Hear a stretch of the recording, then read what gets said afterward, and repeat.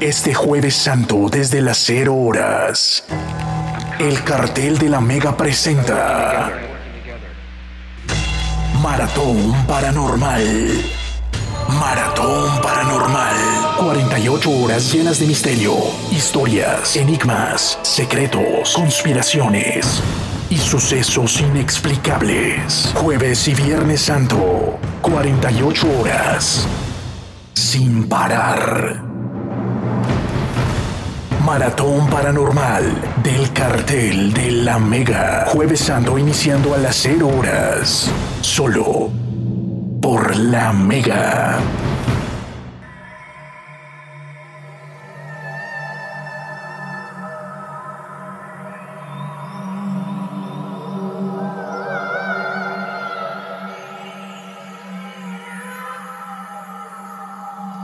Aquí estamos en el cartel paranormal. Avanzamos en esta noche cuando restan cuatro minutos o tres minutos exactamente para las 11 en punto de la noche. Es martes y están con el cartel paranormal. Aquí estamos Edwin Robles, Giovanni Tres Palacios y con un invitado lujo como es Sixto Paz Wells para los amantes de los misterios de los fenómenos, eh, de los ovnis, de los seres extraterrestres. Si se acaban de prender su radio y dicen, ¿cómo así me lo perdí? Bueno, después de la medianoche tienen la repetición o en la página de la Mega también lo van a encontrar porque hemos hablado de cosas muy interesantes, cosas que nos pueden volar la imaginación y a cuestionarnos y el preguntarnos y el querer ir a los libros o el querer ir a las conferencias de Sixto, que los que están en Bogotá pues tendrán la oportunidad este jueves y este viernes en la Universidad Santo Tomás de asistir a las 7 de la noche una sobre su libro Santuario de la Tierra y el otro el momento, la verdad, llegado que nos contaba Sixto al principio de la anterior hora, que estuvo en Las Vegas hace poco, dando una conferencia allá y se encontró con exmilitares que apasionados por, obviamente, por las experiencias que tuvieron y todo, obviamente esto es de la charla, pero quería preguntarle a Sixto, y ahorita Roles una pregunta es, algo que le haya sorprendido en esa charla con los militares que usted, que haya sido nuevo para usted, porque usted es una persona que ha conocido vida de otros planetas, ha tenido contacto extraterrestre, pero algo que de pronto algún militar le ha contado que usted ha dicho, oye, ¿eso en serio existe? Que eh, ustedes saben que ha habido más de 39 naves extraterrestres que se han estrellado en la Tierra en diversos lugares de nuestro mundo. Algunas de esas naves han sido recuperadas por el gobierno norteamericano más o menos en buenas condiciones, pero esas naves no se pueden accionar porque requieren un poder mental superior. O sea, tienes que tener tú un poder psíquico, muy, muy grande como para que la nave ya pueda moverse, pueda movilizarse. Eh, por eso es que las naves también tienen el comportamiento tan peculiar ¿no? que, vemos nosotros en el cielo, porque obedece realmente a un poder mental superior. Entonces, eh, lo han intentado, han incluso, incluso han entrenado niños, ya niños eh, muy, o sea, dotados, para que puedan movilizar esas naves. Y no han logrado. Ya, y es tan torpe el movimiento que se tiene y todo que mm, pues, la cosa no ha funcionado. Entonces que te lo digan militares en un congreso en Las Vegas, Nevada, ya y militares de alta graduación. Antes nadie se atrevía a hablar de esto porque la amenaza que tenía un astronauta, un militar, era que si tú una vez jubilado comenzabas a liberar secretos, ya este, te quedabas sin, eh, sin jubilación, o sea, te cortaban inmediatamente el pago de la jubilación. Ahora ya no pasa eso. Por eso Edgar Mitchell, que ya ha fallecido hace poquito, el astronauta que tuvo la caminata espacial más larga en la Luna, Apolo 14 en 1971, que eh, no solamente era astronauta, también era científico, declaró a todos los medios de comunicación en Europa que los extraterrestres existen, que los gobiernos lo saben y no lo quieren dar a conocer. Y no lo quieren dar a conocer porque el choque cultural a nivel político, social, económico, religioso sería radical. O sea, el mundo se quedaría sin fronteras toda la humanidad tendría que unirse frente a los visitantes. Mejor que nos encuentren unidos y no enfrentados.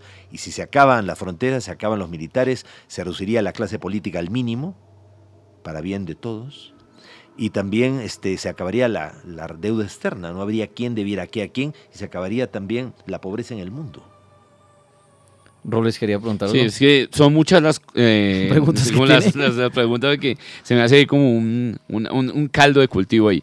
Pero bueno, Sixto, se sabe que este plano terrenal es un plano que lo he escuchado, una frase muy popular que la he escuchado en algunas conferencias sobre el tema, se dice que este es un planeta de expiación y prueba, que realmente nosotros no tenemos un avance o no podemos llegar a, tener un avance, por decirlo, considerable, porque precisamente hay unas teorías que están eh, formulándose acerca del origen mismo del hombre. Una de ellas, creo, es la panspermia, que dice que somos hijos polvo estelar, que somos hijos de las, de las estrellas. Pero más allá de eso, también hay otras culturas que dejaron establecido aquí en un código Estamos hablando, por ejemplo, códigos como el de las tablillas sumerias que ha sido o, se ha intentado descifrar, por ejemplo, a través de eh, maestro Zacarías Sitchin o incluso por el maestro Samuel, eh, Samuel Kramer, eh, en donde dejan en entredicho que el hombre fue una creación de alguna, algún tipo de raza avanzada extraterrestre, ¿cierto? Pero a manera de esclavo o a manera de ayudante. ¿Qué podrías decir al respecto? Pues tuve la oportunidad de ser invitado por eh, Exopolitics de Sydney, Australia. Sí. Entonces dimos una conferencia allí y aprovechando que estaba ahí en Australia me fui a, conocer Uluru, eh, Rock, el segundo monolito más grande del mundo, cerca de Alice Springs. Y en ese lugar, pues, imagínense un desierto plano, plano, plano, y de pronto un chinchón, una piedra gigantesca de 382 metros de, altura, eh, 3 kilómetros de largo, 9 kilómetros de perímetro. Es la piedra sagrada de los Anangu, de los aborígenes australianos. Anangu significa ser humano. Entonces los Anangu dicen que los dioses, los Wanjima, crearon al, cielo y a la tierra, pero a la tierra y a la humanidad la crearon, a diferencia del universo, en el Tujurpa, en el tiempo del sueño, en un tiempo al margen del real tiempo del universo. O sea, una especie de Matrix. Y se le dijo a los seres humanos que nunca abandonáramos este planeta, que no, nunca tratáramos de mirar más allá, allá, que este planeta era nuestra responsabilidad. Después eh, he tenido la oportunidad de hablar con los, con los Anangu, es impresionante lo que te cuentan. Ellos te dicen que hubo una gran guerra de los Wanjima, y de los dioses, y que los hombres serpiente venenosos, que era una la variante de los Wanjima, fueron derrotados y sus cuerpos fueron dejados debajo de la gran piedra de Uluru. Ahora, eh, esto, es, esto, es, muy interesante porque eh, hace muchos años atrás, cuando sea, empezaba la experiencia del contacto extraterrestre, eh, cuando tuve la oportunidad de subir por primera vez al interior de una nave de estos seres, ellos me enseñaron una especie de, de libro de placas de metal, ¿no? doradas, llenos de extraños ideogramas o símbolos. Y estos seres lo que me explicaron es que según ellos, el planeta Tierra, nuestro mundo, murió hace 1.200 millones de años, producto de impactos de lluvia meteórica que extinguieron no solamente la vida en el planeta, que recién empezaba, sino que acabaron con la Tierra. La Tierra se hizo pureza, se hizo polvo hace 1.200 millones de años. No me refiero al meteorito de casi, de casi 10 kilómetros de diámetro, que hace 65 millones de años hizo desaparecer los dinosaurios sobre la faz de la Tierra y el fin de la era secundaria comenzó el terciario. Mucho antes que eso, hace 1.200 millones de años, según los extraterrestres, el planeta desapareció. Según los extraterrestres, el tiempo en el universo es como una espiral ascendente. En una de las curvas de la espiral la Tierra murió, pero el universo continuó. Entonces un grupo de civilizaciones recibió la autorización por parte de jerarquías cósmicas como para viajar a través del tiempo y del espacio y venir a la Tierra antes de que la Tierra muriera e impedir de que muriera creando con ello un tiempo alternativo paradójico que se ha venido trenzando con el real tiempo del universo. Según esto, nosotros vivimos en un tiempo alterno, en una matrix, en una realidad virtual, en un tiempo al margen del tiempo. Entonces ellos entran aquí y experimentan, manipulan. Somos como una especie de reality show, como un gran hermano, como un Truman Show. Como un Truman Show. ¿Ya? Entonces tenemos cámaras hasta en el baño. ¿ya? El gran hermano. Así, están pendientes de todos nosotros. ¿Por qué? Porque las civilizaciones extraterrestres consideran que no hay nadie, por muy sabio que sea, que no tenga algo que aprender y nadie, por muy humilde que sea, que no tenga algo que enseñar. Ellos son civilizaciones que han avanzado mucho tecnológica y mentalmente, pero a costa de sacrificar emociones, sentimientos, pasiones, y hoy están queriendo recuperarlas. Entonces, ¿cómo? Hicieron, elaboraron el llamado plan cósmico. El plan cósmico consistía en seleccionar ocho planetas que no tenían futuro, o sea, que no tenían futuro alguno, planetas que se habían destruido en su proceso evolutivo, y crearles un futuro eh, alternativo, alterno. Ahora, ellos venían, experimentaban, manipulaban, nos observaban y una vez que ellos extrajeran la información que a ellos les interesaba, reseteaban el programa y era como si nunca hubiéramos existido, como si nunca no hubiésemos sido. Ok. Ahora, por ningún motivo debían permitir que viéramos más allá de este tiempo. O sea, que viéramos que hay portales dimensionales, que, hay, que, que, que existe un tiempo real y nosotros estamos en un tiempo al margen, ¿ya?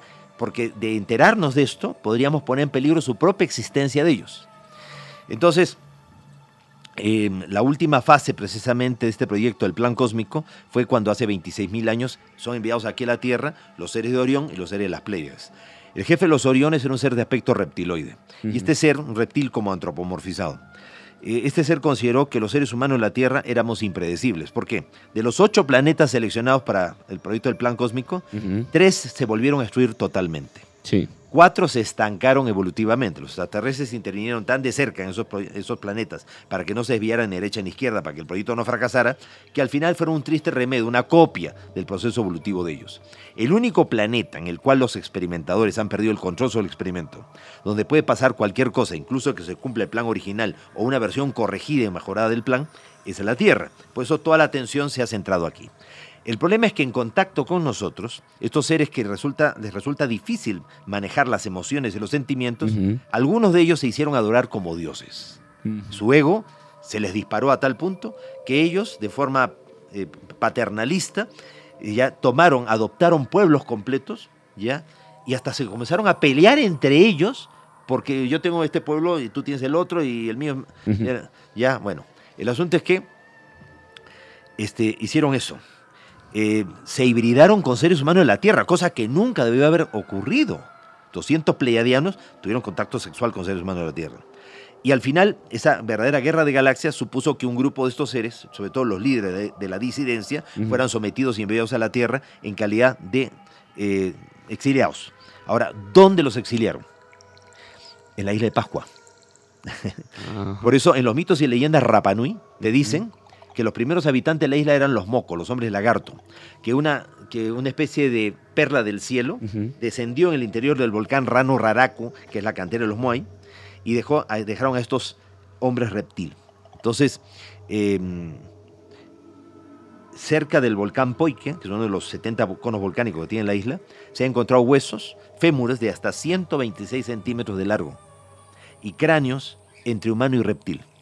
Ahora, esto no ha sido dado a conocer a la luz pública, Sí. esto te lo hablan los guardias forestales del Parque Nacional Rapa Nui, porque si no, desaparecerían las evidencias. Claro, inmediatamente. Y de todo esto es que trata mi libro El Santuario de la Tierra, o sea, el vigésimo libro. Es la verdadera historia oculta de la isla de Pascua y de muchos lugares en el planeta donde verdaderamente están las evidencias que demuestran que no estamos solos, que nunca lo hemos estado y que somos parte de su historia. Ellos son nuestro pasado y nosotros somos su futuro. ¿Por qué?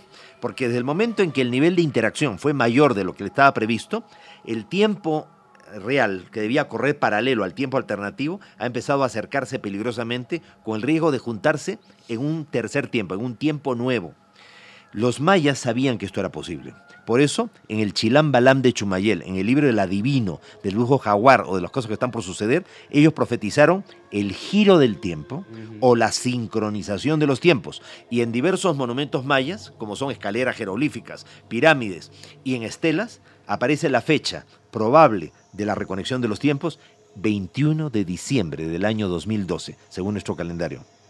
O sea, los mayas hablaban de que un rayo sincronizador, una energía procedente del centro de la galaxia, del Hunapku, llegaría a nuestro sistema solar con más fuerza que nunca, ab- abriría un portal dimensional, un agujero de gusano, que podría tragarse a la Tierra y a todo el sistema solar, y en ese momento podría asegurarse que la Tierra, al pasar a esa otra realidad, ocupara el lugar de la Tierra muerta en el real tiempo del universo, y eso haría de que al fundirse los dos tiempos, el tiempo real y el tiempo alternativo, surgiera un tercer tiempo. Para nosotros no cambiarían mucho las cosas a partir del 21 de diciembre del 2012, porque ya venían cambiando de antes. Claro. Para quienes cambiarían las cosas de forma radical, incluso de forma retroactiva, sería para los extraterrestres, porque les cambiaríamos su historia. Entonces los extraterrestres, sabiendo que existía ese peligro, dejaron grabado en el ADN humano la memoria del universo, el antes, durante y después del plan cósmico, porque al juntarse los tiempos ellos iban a olvidarse de lo que fue el programa original. O, o sea, Sixto, somos la alternativa de ellos. eso sería como quien dice lo que hemos discutido y debatido aquí interesantemente y es que realmente nosotros tenemos un destino escrito y que ese destino no se puede cambiar por nada del mundo porque si se cambiara el alternativo se alteraría. Y, y ciertamente nosotros les hemos alterado realmente el Sí. destino a ellos.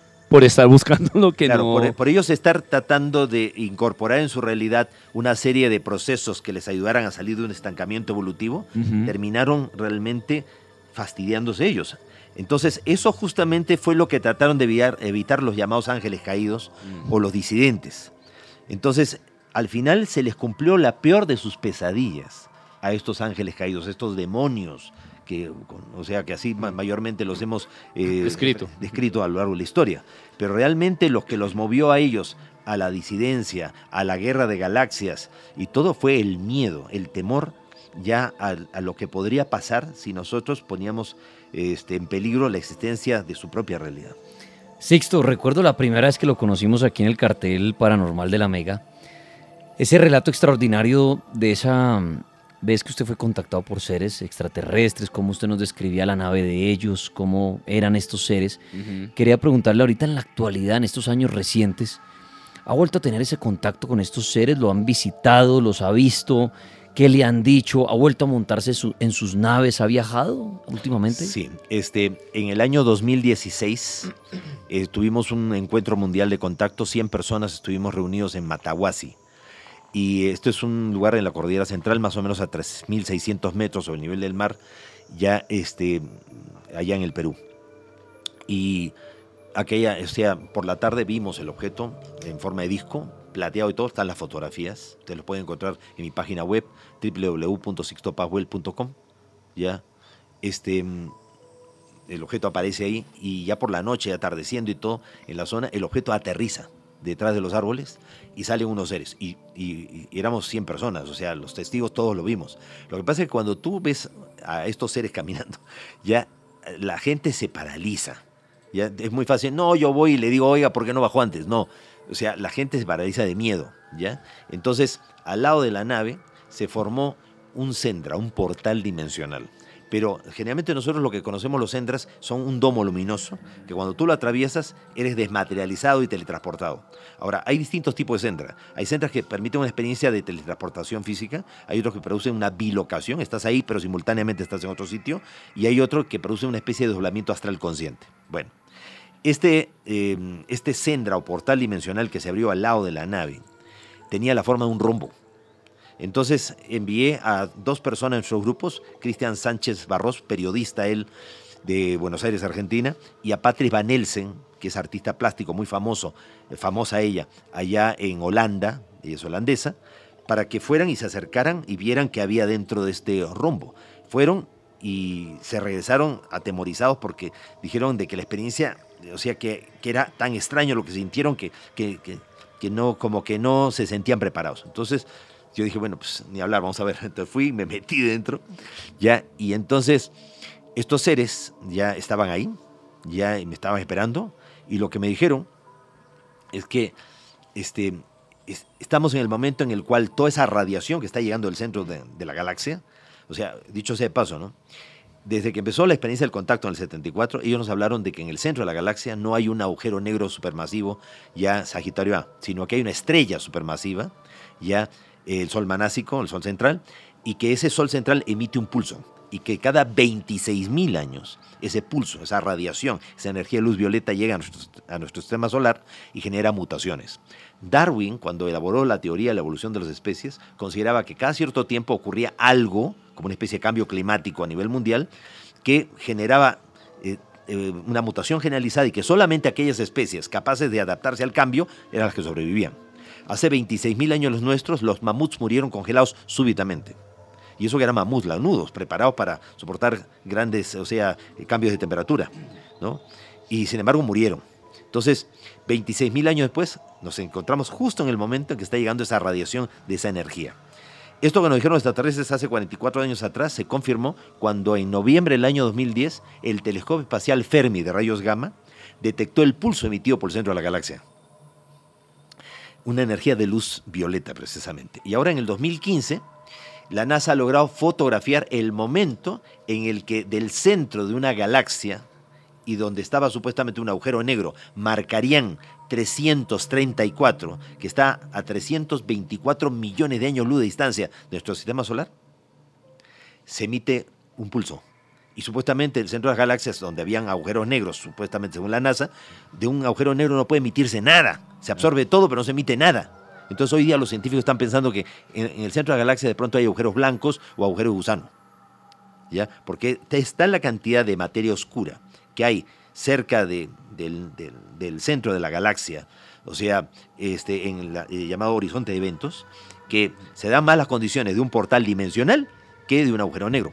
O sea, un agujero negro, o sea, las estrellas nacen, crecen, envejecen, mueren. Y mueren eh, explotando, o sea, explotan, se convierten en novas o en supernovas. Pero hay algunas de ellas no explotan, sino implosionan, estallan hacia adentro. Entonces forman una especie de agujero, de callejón sin salida, que atrapa todo hasta, o sea, ya te digo, hasta la luz se la lleva. Pero ¿qué pasa? También, aparte de los agujeros negros, existen los agujeros de gusano, que son como atajos cósmicos que permiten que tú entres por esta parte del universo y salgas por la otra mitad del universo. Los extraterrestres, hace 44 años atrás, nos decían que cuando ellos quieren salir fuera de la galaxia, lo que hacen es que se van al centro de la galaxia. Y se meten por el centro de la galaxia, y es como el Mario Bros. ¿Ya? que tú entras por el tubito ti, ti, ti, Y sales y sales por el lado. siguiente nivel. plim, plim, ¿Ya? Exactamente pasa eso. O sea, entras por aquí, porque todas las galaxias están conectadas entre sí como una especie de red neuronal. Es impresionante. ¿Ya? Una estructura. Ya, y a pesar que se alejan a velocidades increíbles, ¿no? La galaxia, la, decía, la Vía Láctea, viaja por el universo a 965 mil kilómetros por hora.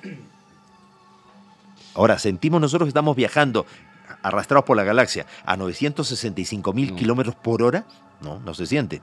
Pues nuestro planeta eh, se mueve por el universo, o sea, eh, gira eh, de forma elíptica alrededor del Sol, 150 millones de kilómetros, eh, en 365 días. Lo hace a 107.208 kilómetros por hora, 29 kilómetros por segundo, 87 veces la velocidad del sonido. A esa velocidad viaja la Tierra por el universo. Sin embargo, cuando salen los astronautas y ven la Tierra, la ves suspendida en el aire, ahí está quietecita. Quietecita, nada que ver. ¿ya? Y el movimiento del universo ya es en espiral. ¿Ya? ¿Por qué? Porque como la galaxia está arrastrándonos a todos, ¿ya? El movimiento es en espiral. Todos son espirales en el universo.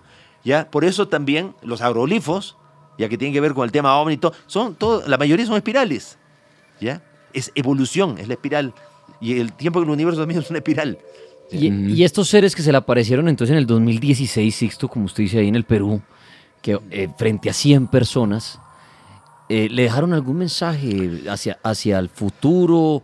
Eh, otro- otra cosa que veo aquí en redes, ¿por qué siempre que usted, digamos, desea o siempre que está con un grupo de personas, se le aparecen estos seres? O sea, ya son como No, aliados suyos, son amigos, ya venga que te- quiero, Bueno. quiero que otros amigos los vean. Bueno, no, es- no, no es cierto de que aparezcan solamente porque estoy yo, no soy patita de conejo. Ya, el asunto es que ellos nos citan a este- determinados lugares. O sea, eh, y esa salida ahí a Matahuasi no lo recibí yo en comunicación psicográfica, escritura automática, a través de, de meditación. La recibieron alrededor de una docena de compañeros y compañeras de nuestro grupo.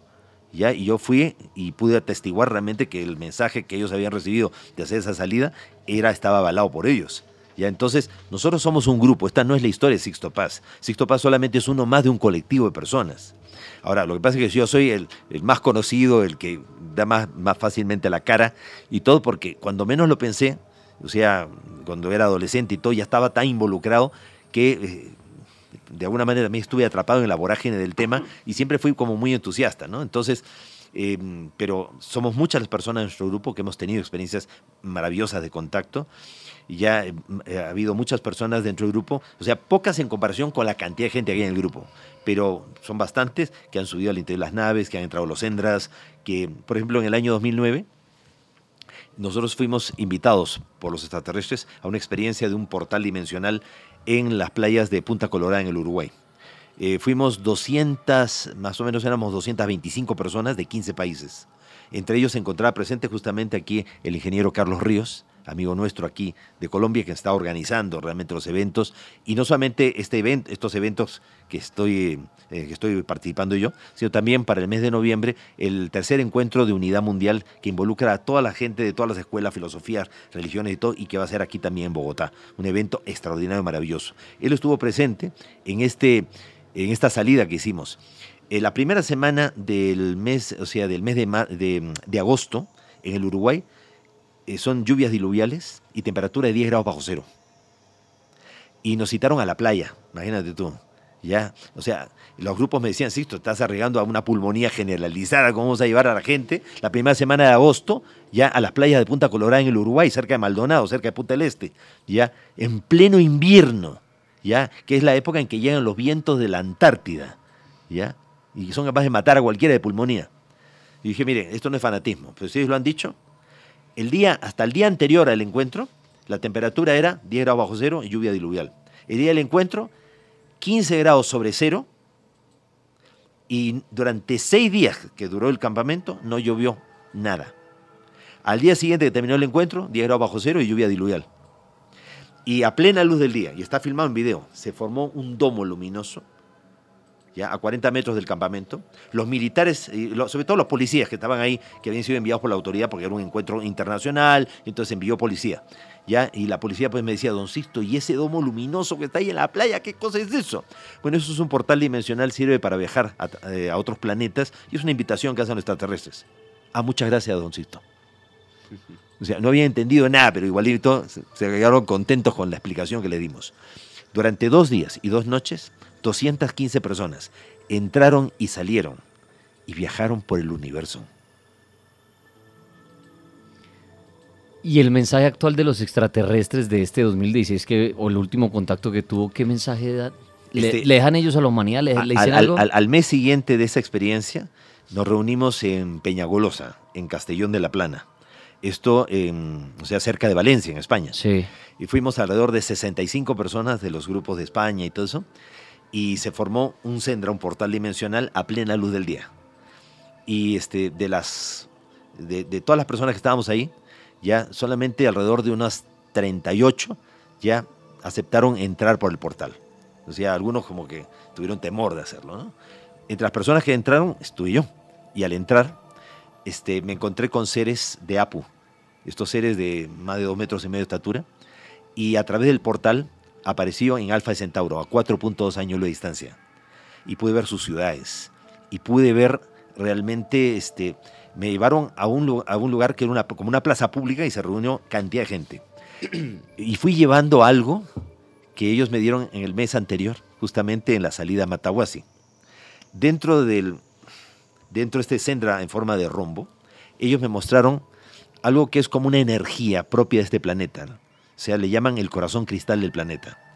Es como la síntesis, es como la esencia de la energía de este planeta. Un planeta al que se le dio una segunda oportunidad. Y esa energía se incorporó en mi pecho. Y entonces al mes siguiente, ya cuando viajo a través de este Sendra y aparezco allá con ellos en su ciudad, estos seres altísimos y todos, todos querían colocar su mano ya en mi pecho y sentir la energía de la tierra esa energía que les ha cambiado su historia, esa energía que les ha hecho, eh, o sea, variar realmente todo lo que ellos creían y concebían. Entonces, realmente eso fue, o sea, esa conexión ya de las energías del planeta, de esas energías como muy vivas, muy, muy intensas de nuestro mundo, y, que fue lo que este, lo que realmente viví en esta experiencia. Fue extraordinario. Hay muchas cosas más. O sea, usted va a encontrar en la página web, por ejemplo, el relato de todas de estas experiencias, lo que cada uno de los que vivió también la experiencia del Sendra este, relató después que había vivido, la experiencia completa. Son de, libre acceso, o sea, cualquiera puede eh, leer todas estas informaciones. Dicho sea paso, siempre en los libros pongo cosas que no están naturalmente en la página web. Ya, así que ustedes ahí pues van a encontrar, ahora aprovechen que se encuentra en este momento ya aquí en las librerías de, este, de Bogotá y de todo Colombia, pues mis libros que antes era un poco difícil poderlos conseguir. Es más fácil conseguirlos por internet que por librería. Eso ahí algo que siempre me ha estado rondando a mí con respecto a personajes muy importantes de la historia, ya que eres historiador también. Y he querido también, no sé, como, como despejar esas dudas es algo de pronto incomprensible y también, eh, no sé, podría decir un poco complicado, decir un poco complicado, decir un... Este jueves santo desde las 0 horas, el cartel de la Mega presenta Maratón Paranormal. Maratón Paranormal. 48 horas llenas de misterio, historias, enigmas, secretos, conspiraciones y sucesos inexplicables. Jueves y Viernes Santo, 48 horas. Sin parar. Maratón Paranormal del cartel de la Mega. Jueves Santo iniciando a las 0 horas. Solo por la Mega. El cartel paranormal de la Mega es solo para mayores de edad. Tus miedos más profundos se hacen realidad. Desde este momento se abren las puertas del más allá. Comienza. El cartel paranormal de la Mega. El cartel paranormal de la Mega.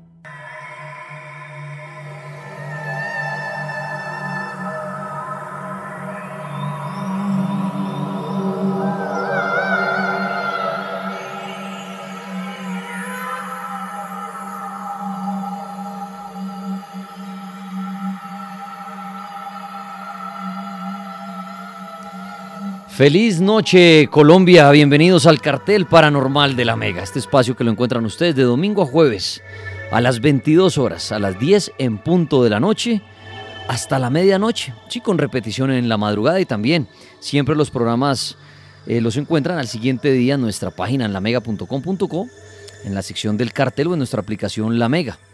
Bueno, al otro día es un decir, a la medianoche inmediatamente termina el programa ya también está ahí montado nuestra página web y todo para que lo repasen si lo quieren hacer. Siempre abordamos estos temas con mucha seriedad, con mucho respeto, sin venderles absolutamente nada, sino que escuchen y saquen su propia conclusión.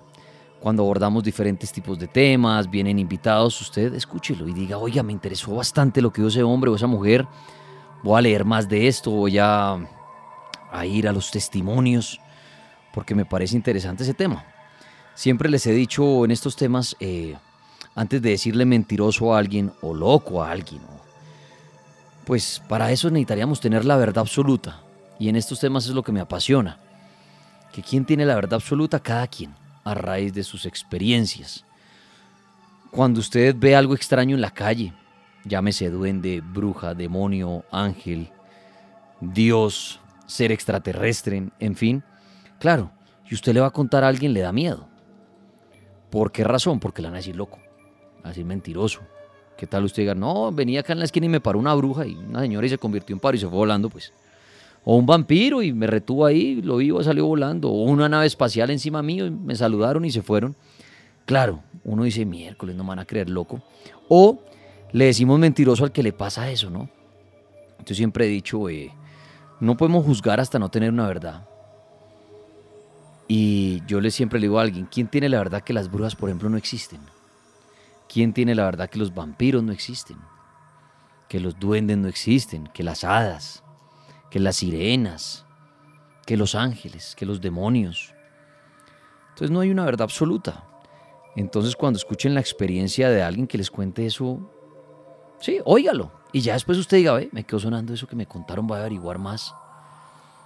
Hay personas que pasan toda su, vida y no logran tener una sola experiencia, entonces se van con esa duda, ¿no? De los fenómenos paranormales, si existen o no. Siempre he dicho, para los fenómenos paranormales no existe un manual.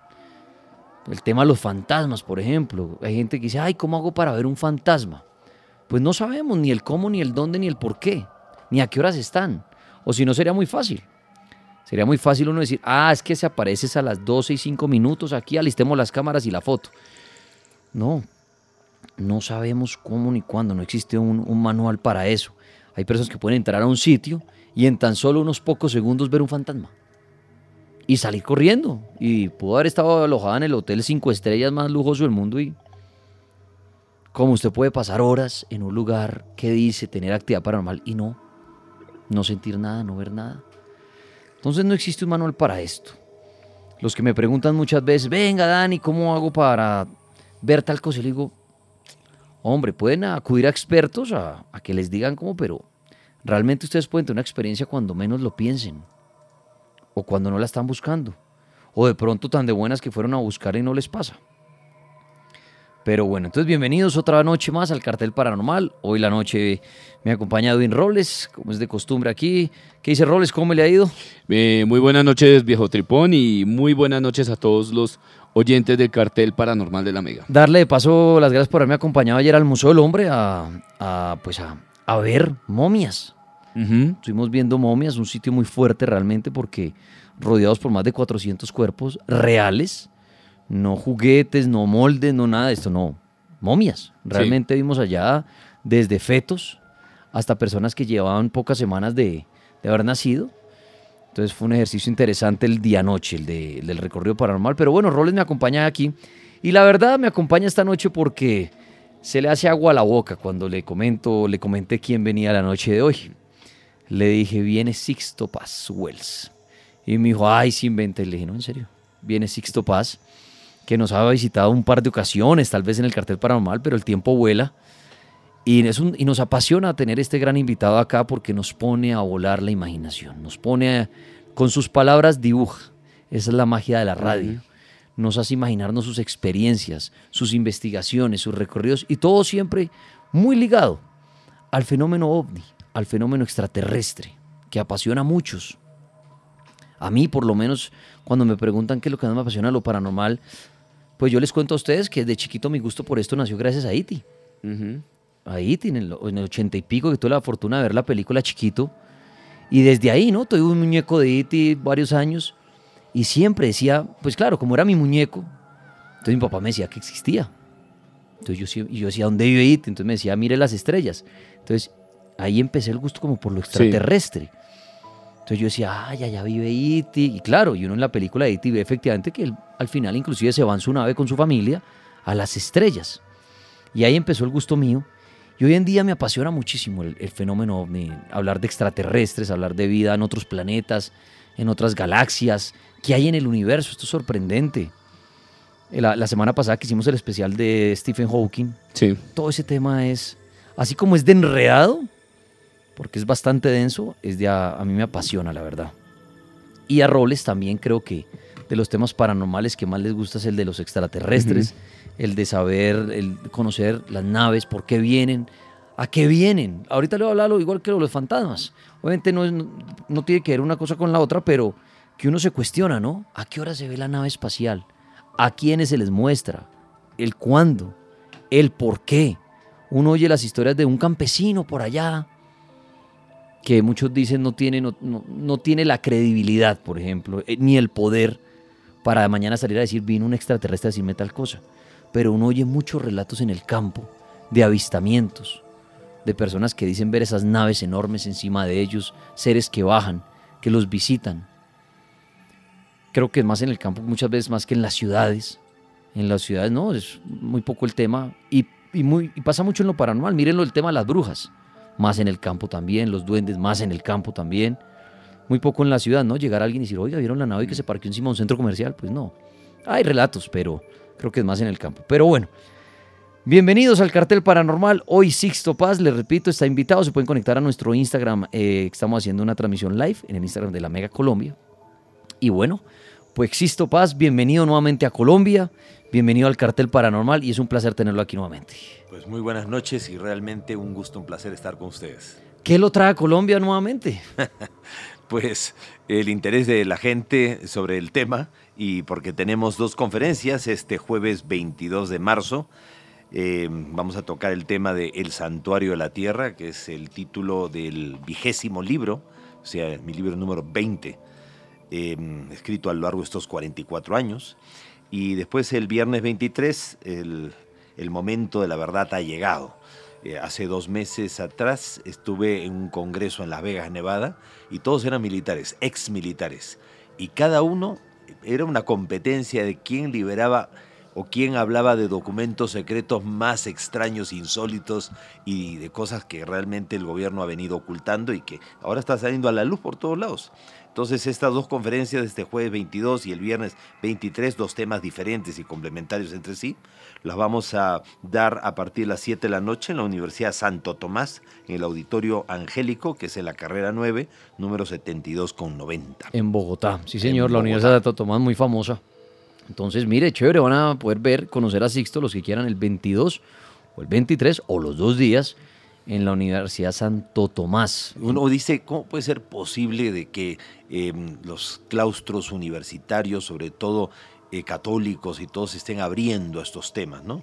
Yo estudié seis años en la Universidad Católica, estudié historia, y resulta ser de que en 1999, Monseñor Corrado Balducci, teólogo del Vaticano, cardenal de la Iglesia Católica y amigo personal del Papa Juan Pablo II, apareció en la RAI, la radio televisión italiana, declarando que la posición actual de la Iglesia Católica frente al tema OVNI, 1999, es aceptar la posibilidad que en un universo tan grande no estemos solos y que los ángeles del pasado podrían ser los extraterrestres de hoy. Eso lo dijo en el 99. Pues el 13 de mayo del año 2008, José Gabriel Funes, la máxima autoría astronómica del Vaticano, un jesuita él de origen argentino, ahora está de moda ser jesuita y argentino, pues eh, que era el astrónomo de- del Papa encargado del Observatorio de Castel Gandolfo en Roma, declaró al diario Observatorio Romano, que es el medio oficial del Vaticano, que el Vaticano, no él, sino que el Vaticano acepta la vida extraterrestre y que es tan lícito para un católico creer en Dios como creer en los extraterrestres. Y esto salió en primera plana de los periódicos a nivel mundial. Así que no está pues reñido con la fe religiosa o con las creencias el hecho de hablar de ovnis, porque si hablamos de un Dios universal, pues precisamente nuestra galaxia, la vía, la, o sea, la Vía Láctea tiene 400 mil millones de estrellas y hay cientos de miles de millones de galaxias como la nuestra. Si, sora- si solamente hubiera vida aquí en la Tierra, como decía Carl Sagan, sería semejante desperdicio de espacio. Interesante, Sixto Paz, mire, Roles, y mencionó algo que a Roles le encanta y es los temas de la conspiración, esas charlas, como él Sí. decía, que tuvo la oportunidad en Las Vegas de estar con de ex militares que... Pero me sorprende, o sea, como todos peleándose a ver quién dice más cosas, quién revela más cosas, quién, ¿Quién destapa más? destapa más. No sé si Roles tengo una pregunta.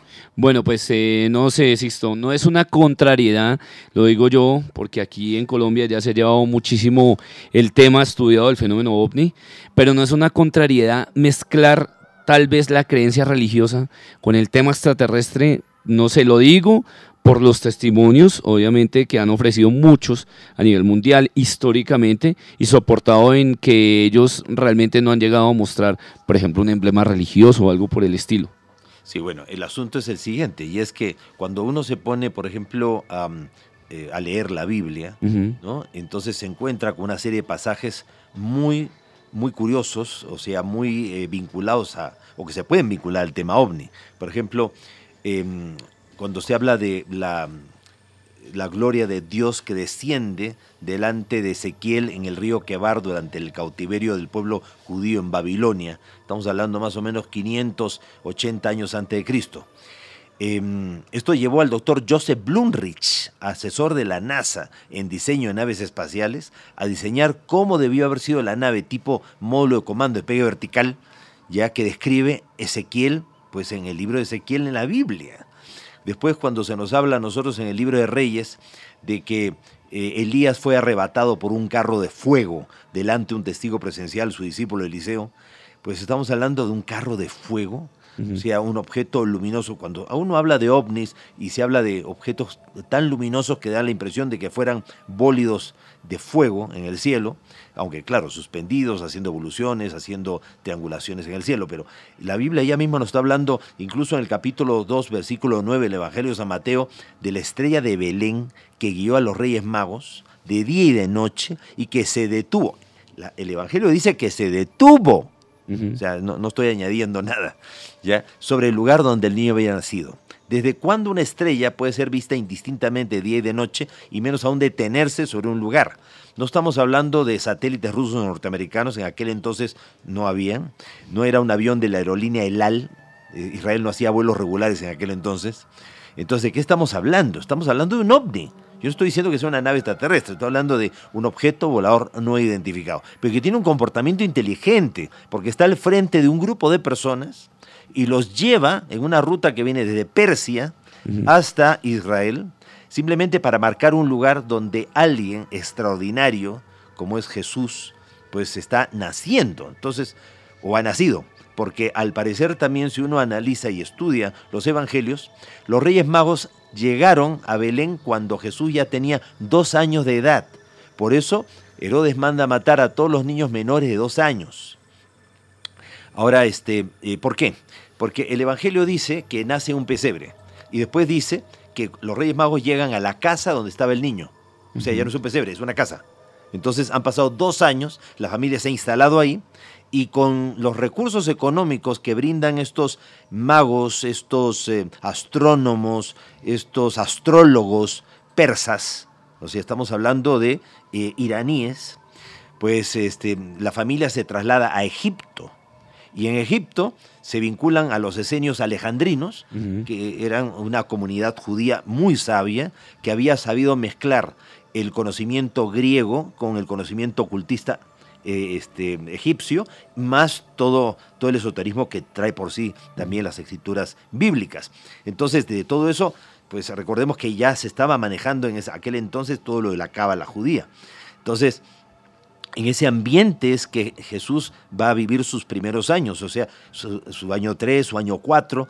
En el quinto año, a raíz de la muerte ya de Herodes, la familia se traslada de regreso a Israel, se ubica en los alrededores de Qumran donde estaban los esenios, una secta sadoquita que 150 años antes de Cristo abandonó la ciudad de Leontópolis porque tuvieron la visión de que un maestro de justicia iba a llegar, iba a poner un poco al mundo en orden a través de una serie de revelaciones. Entonces, los esenios se instalan en las ruinas de una antigua fortaleza del, rey Ocosías o del rey Sedecías y la reforman y la transforman en, una, en un monasterio los esenios se dedicaban a reproducir los libros sagrados. En aquel entonces no había imprenta, entonces cada libro se reproducía a mano. ¿Ya? Entonces era un esfuerzo sobrehumano el que se hacía. Y es interesante porque cuando se encontraron los rollos del Mar Muerto en 1947 en la orilla occidental del Mar Muerto, en solo una cueva, la cueva número 11, se encontraron fragmentos de 700 libros. O sea, hoy día sabemos que la Biblia católica son 72 libros, ¿no? 45 en el Antiguo Testamento y 27 en el Nuevo. La Biblia judía solamente acepta 38 libros.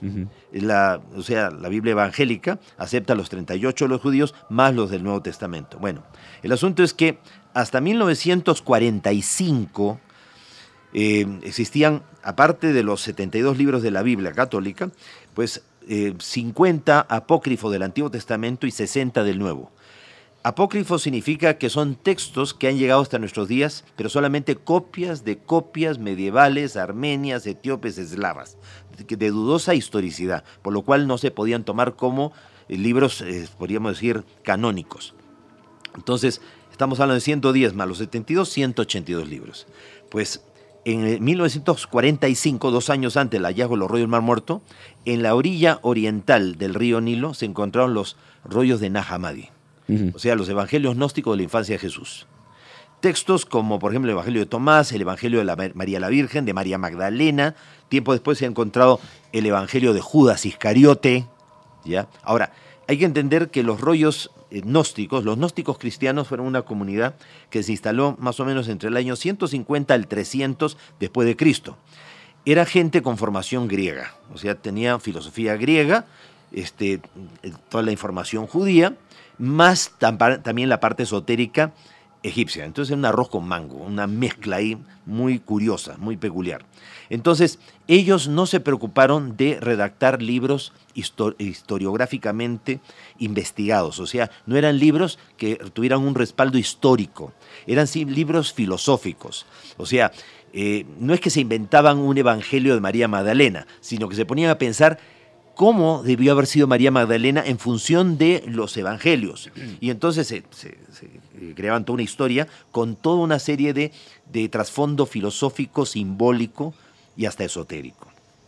Ya entonces, los textos de los gnósticos cristianos, los textos de Nahamadi, no son históricos, por lo cual no se pueden tomar como referencia histórica. Bueno, dos años después se encuentran los rollos, los rollos del Mar Muerto. Y en una sola cueva, la cueva número 11, se encontraron fragmentos de 700 libros.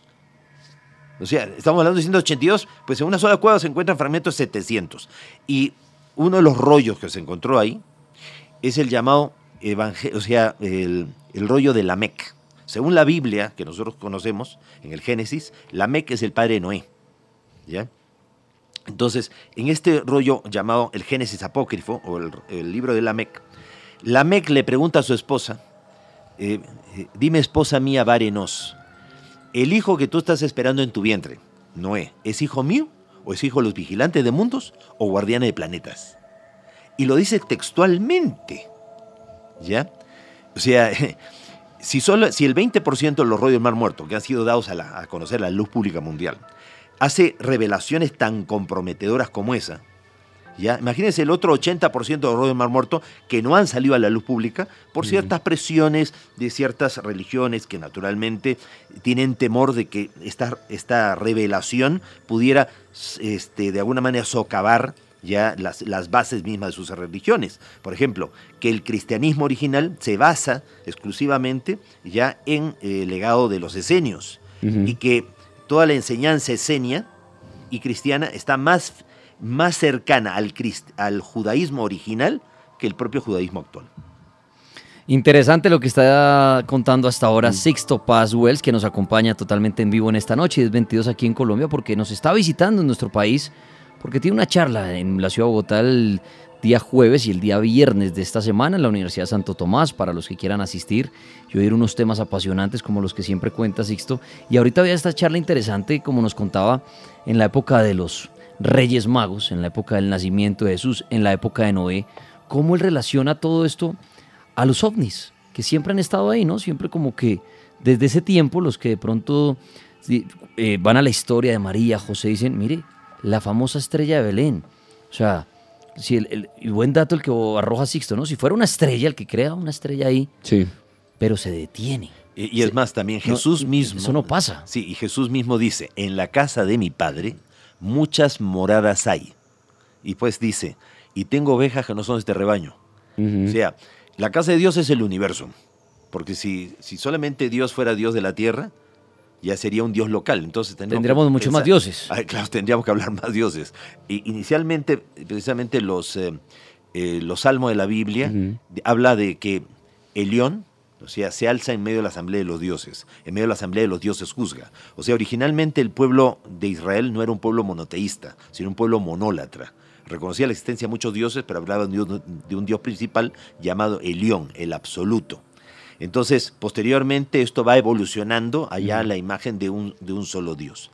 Entonces, eh, cuando se dice de que el león se alza en medio de la asamblea de los dioses, en medio de la asamblea de los dioses juzga, ya estamos hablando de jerarquías de seres y lo hace en el monte Safón. O sea, eh, el pueblo de Israel ya tenía el concepto de que en las montañas descendían estas, estas presencias, así como en el monte Parnaso, ¿no? Descendía Pegaso, que era un caballo alado. Caballo alado o nave alada o una nave que volaba, bueno. Ya, o en el monte Olimpo, lo- o sea, los dioses griegos. Eh, estamos hablando de, en- o sea, eh, en, los- en las montañas también donde descendían los dioses hindúes y todo. Entonces, ¿por qué siempre en lo alto de las montañas? Eh, Aquí en Sudamérica, sobre todo en el Perú, se habla de los apus, los espíritus de las montañas. Sí, señor. Entonces, los altomisayos y los queros, que son las comunidades indígenas que han sobrevivido a la destrucción del imperio inca y que son los guardianes de todo el conocimiento ancestral, suben a lo alto de las montañas para entrar en contacto con el espíritu de la montaña, a los que le llaman los apus. Pues en el año 74, cuando nosotros iniciamos la experiencia del contacto, una nave extraterrestre aterrizó en el desierto de Chilca, al sur de Lima, bajó del interior un, ser, una persona, un ser antropomorfo, humanoide, cabeza, tronco, extremidades, pelo corto, un color cano platinado. Eh, la apariencia era como un nórdico, como un escandinavo. Tenía un traje plateado y una especie de pectoral negro en el pecho, hacía gestos con las manos, la comunicación fue mental. Y lo que captamos, las cuatro personas que nos acercamos, de los 25 que éramos, solo cuatro nos acercamos hacia el ser, Y claro, a cierta distancia, más allá nadie se atrevió a acercarse más.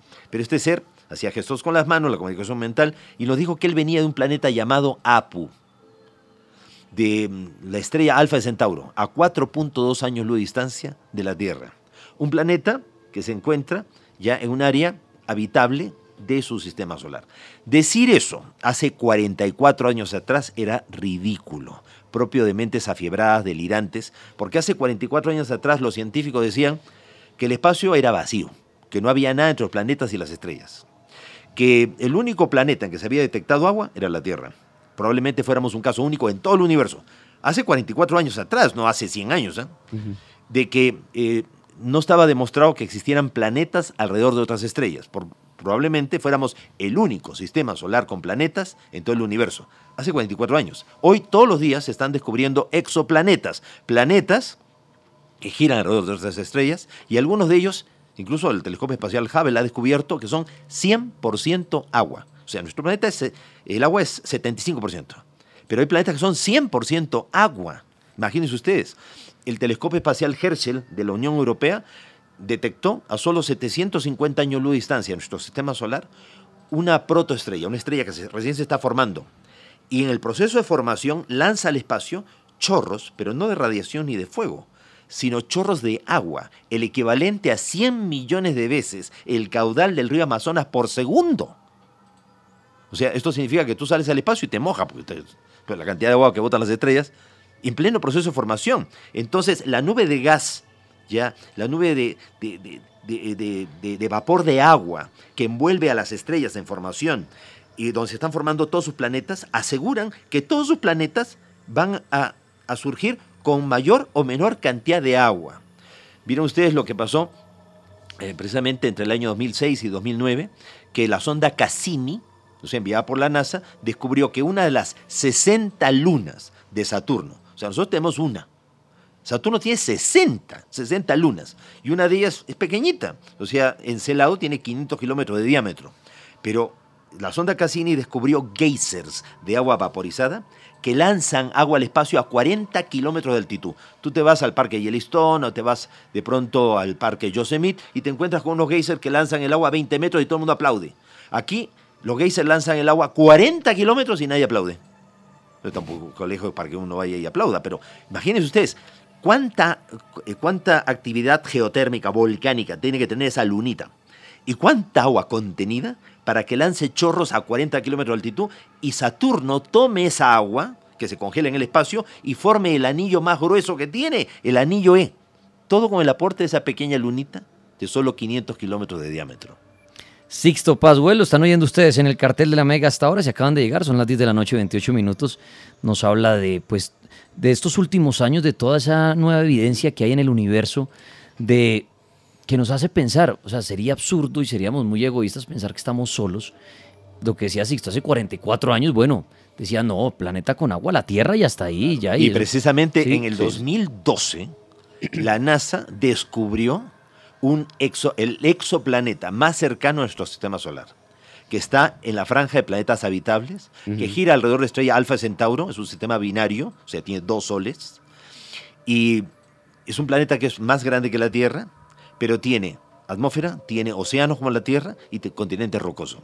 De tal manera que la NASA está desarrollando en este momento un proyecto, que es eh, el proyecto de la IXS Enterprise. Ya muy romántico, se han puesto los, este, los nerds de la NASA, ya como para ponerle ese nombre a la nave propulsada por motores de plasma que viajaría, que viajaría, que tratar de, entender la misión que tuvo Hitler aquí en la Tierra y el por qué todos los, eh, todas las líneas ufológicas, los estudios de ovnis lo relacionan con que haya tenido eh, acceso a información privilegiada y que él haya creado o haya generado ovnis, que haya salido, por ejemplo, em, no sé, por la Antártida y haya llegado a una ciudad intraterrena, allá en el polo. Y aparte de eso, aparte de eso, de que su subalterno, su lugarteniente cercano, Himmler, haya también estado detrás de muchísimas, o muchísimos de los elementos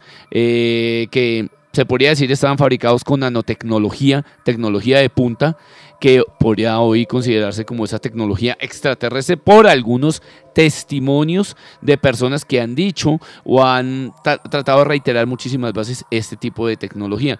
¿Qué tan cierta es esa historia de Adolfo Hitler y su conexión con los extraterrestres? Bueno, el proyecto Junebu, ya este, es justamente el proyecto de desarrollar naves, ya, o sea, discos voladores, por parte de la Alemania nazi. Eh, los alemanes ya en muchas misiones de bombardeo, en muchas misiones de reconocimiento, fueron testigos de la aparición de los Krausballs, o sea, de las caneplas, los Foo Fighters, estas cámaras de televisión controladas a distancia por extraterrestres, y ya ellos eh, llegaron a, eh, llegaron a producirse algunas experiencias de contacto ahí en Alemania que llevaron a, incluso recordemos también que los nazis tenían un batallón de psíquicos, o sea, tenían a un, regimiento de gente psíquica que llegó incluso a saber cómo eran las naves por dentro y entonces en el proyecto Junevo están el diseño de las naves en forma de cilindro, las naves nodriza, las naves en forma de disco voladores, generalmente las naves venusianas, ¿ya? Entonces había todo el proyecto de desarrollar este tipo de naves, pero no llegaron a desarrollarlas. ¿Por qué?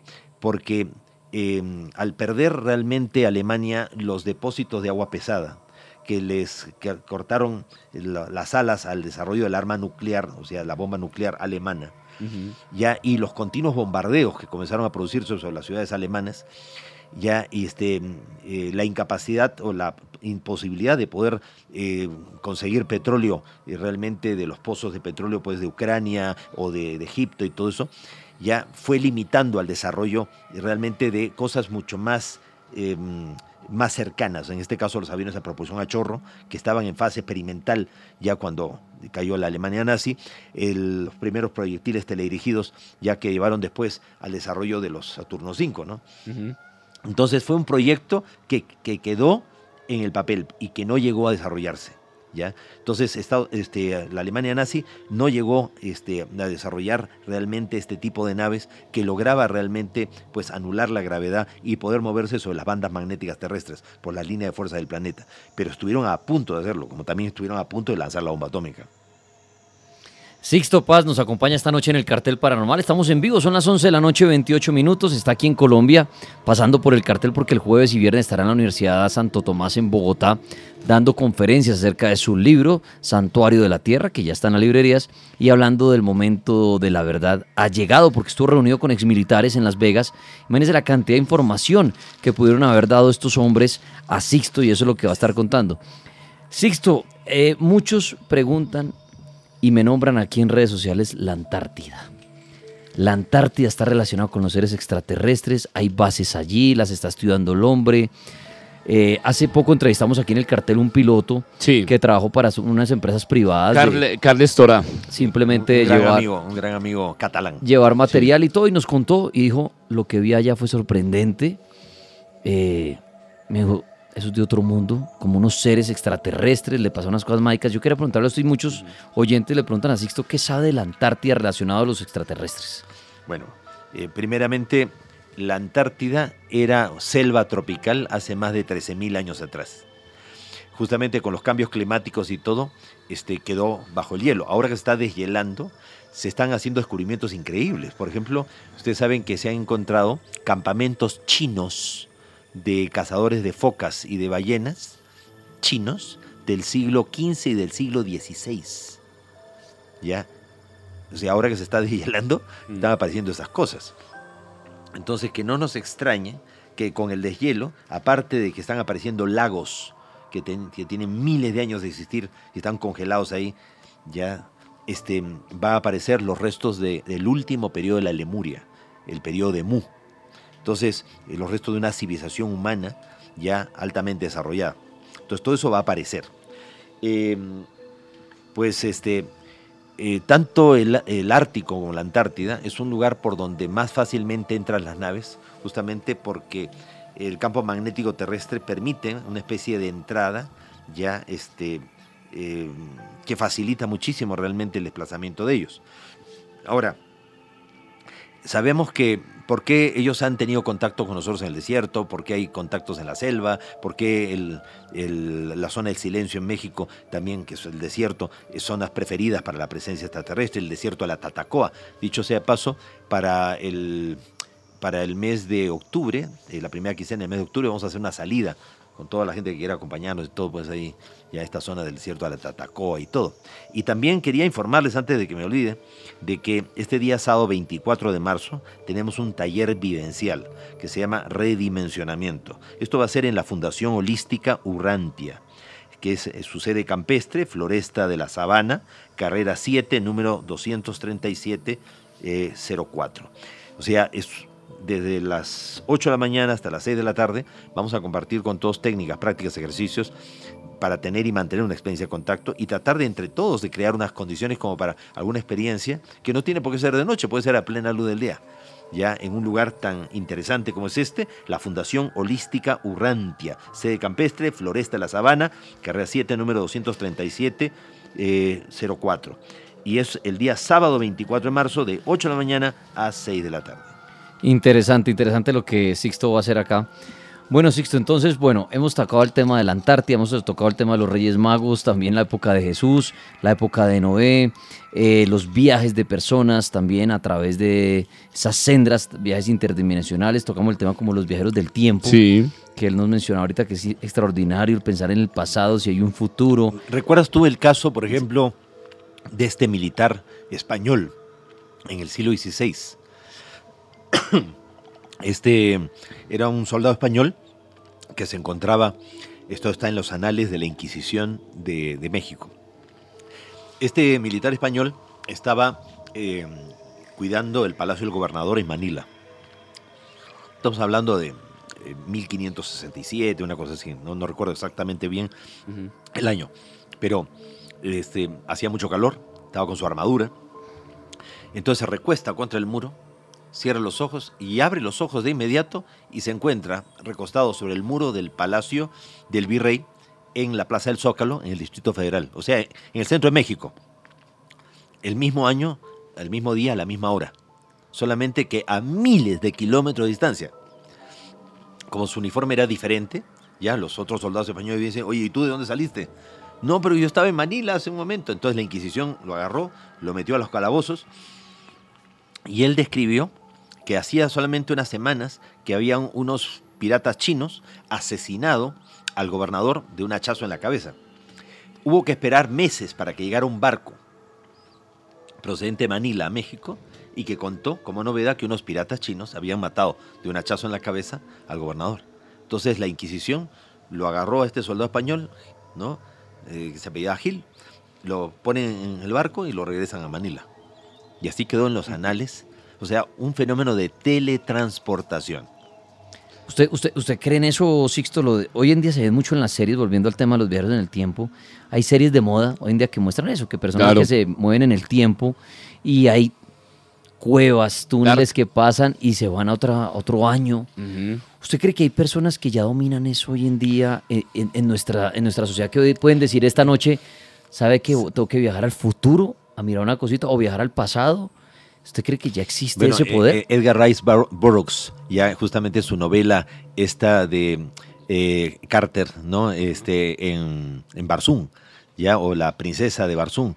O sea, toda esta serie sobre Marte hace referencia precisamente a un portal dimensional que se abre en el desierto de los Estados Unidos en una cueva indígena. Bueno, el asunto es que, como ustedes conocen ya la historia que les he contado más de una vez, en el año 74 los extraterrestres nos citaron a través de mensajes psicográficos al desierto, fuimos allí y de pronto apareció una nave y se formó un domo luminoso, o sea, esta nave proyectó este domo de luz. Y del domo de luz salió un ser, de apariencia antropomorfa, humanoide, invitándonos a acercarnos y entrar dentro del domo. No fue fácil vencer el miedo, pero al hacerlo, la sensación fue de que todo el cuerpo se quemaba, sensación de mareos, de náuseas, y de pronto este ser de apariencia como un oriental, en ese momento él tenía la apariencia como un, coreano, un mongol, un oriental de unos un metro ochenta, ya no- nos dijo que esto que habíamos atravesado era un sendra, un portal dimensional, y que el tiempo que nosotros viviríamos allí no correspondería al tiempo de acá. Cuando nosotros pasamos, aparecimos en Ganímedes, a 600 millones de kilómetros de distancia de la Tierra, estuvimos entre 4 y 5 días allá. Entre 4 y 5 días allá. Cuando volvimos habían pasado solamente 15 minutos. Esta experiencia salió publicada en el primer libro de Juan José Benítez, el primero de, de las 10 veces que periodistas nos han acompañado en encuentros programados. En su primer libro, pues hay un capítulo dedicado a los Endras. Bueno, Tres años más tarde, el 25 de abril del año 77, un cabo del ejército chileno, el cabo Armando Valdés del regimiento Rancagua, junto a un grupo de soldados, estaban patrullando la zona de Putre, en Arica, la frontera norte de Chile con el Perú, donde hay mucho contrabando en el desierto, y vieron una luz que encendió en una colina. El cabo Valdés le dice a los soldados, cúbrame, voy a ver de qué se trata. Y él muy valiente fue y penetró en el interior de la luz. Y cuando salió de la luz, 15 minutos después, tenía la barba crecida de varios días y el reloj en el fechador adelantado de cinco días. Pero él conscientemente no recordaba dónde había estado. Entonces, ¿se puede viajar a través del tiempo y del espacio? ¿Hay correspondencia de tiempo? Pues vivimos en un universo sin límites. El único límite es nuestra ignorancia. Todo es posible. Ahora, si bien todo es posible, no todo está permitido. Hay entidades, jerarquías que controlan quiénes pueden viajar a través del tiempo y el espacio, para que no pongan en peligro la, eh, el orden cósmico. La cadena. Así es. Hay algo interesante lo que tú nombras, eh, Sixto, y también me ha parecido curioso a mí porque lo han eh, trabajado algunos youtubers modernos. Estamos hablando de grupos que están prácticamente al margen de lo que se podría considerar como institucional, como por ejemplo la política, la economía, la religión, y otros grupos que realmente están en contra de este tipo de sistema que lo evaden a, a toda costa, pero se han creado grupos que son alternos a, esos, eh, a estos eh, grupos que protestan contra esta misma estructura y se les denomina disidencia controlada.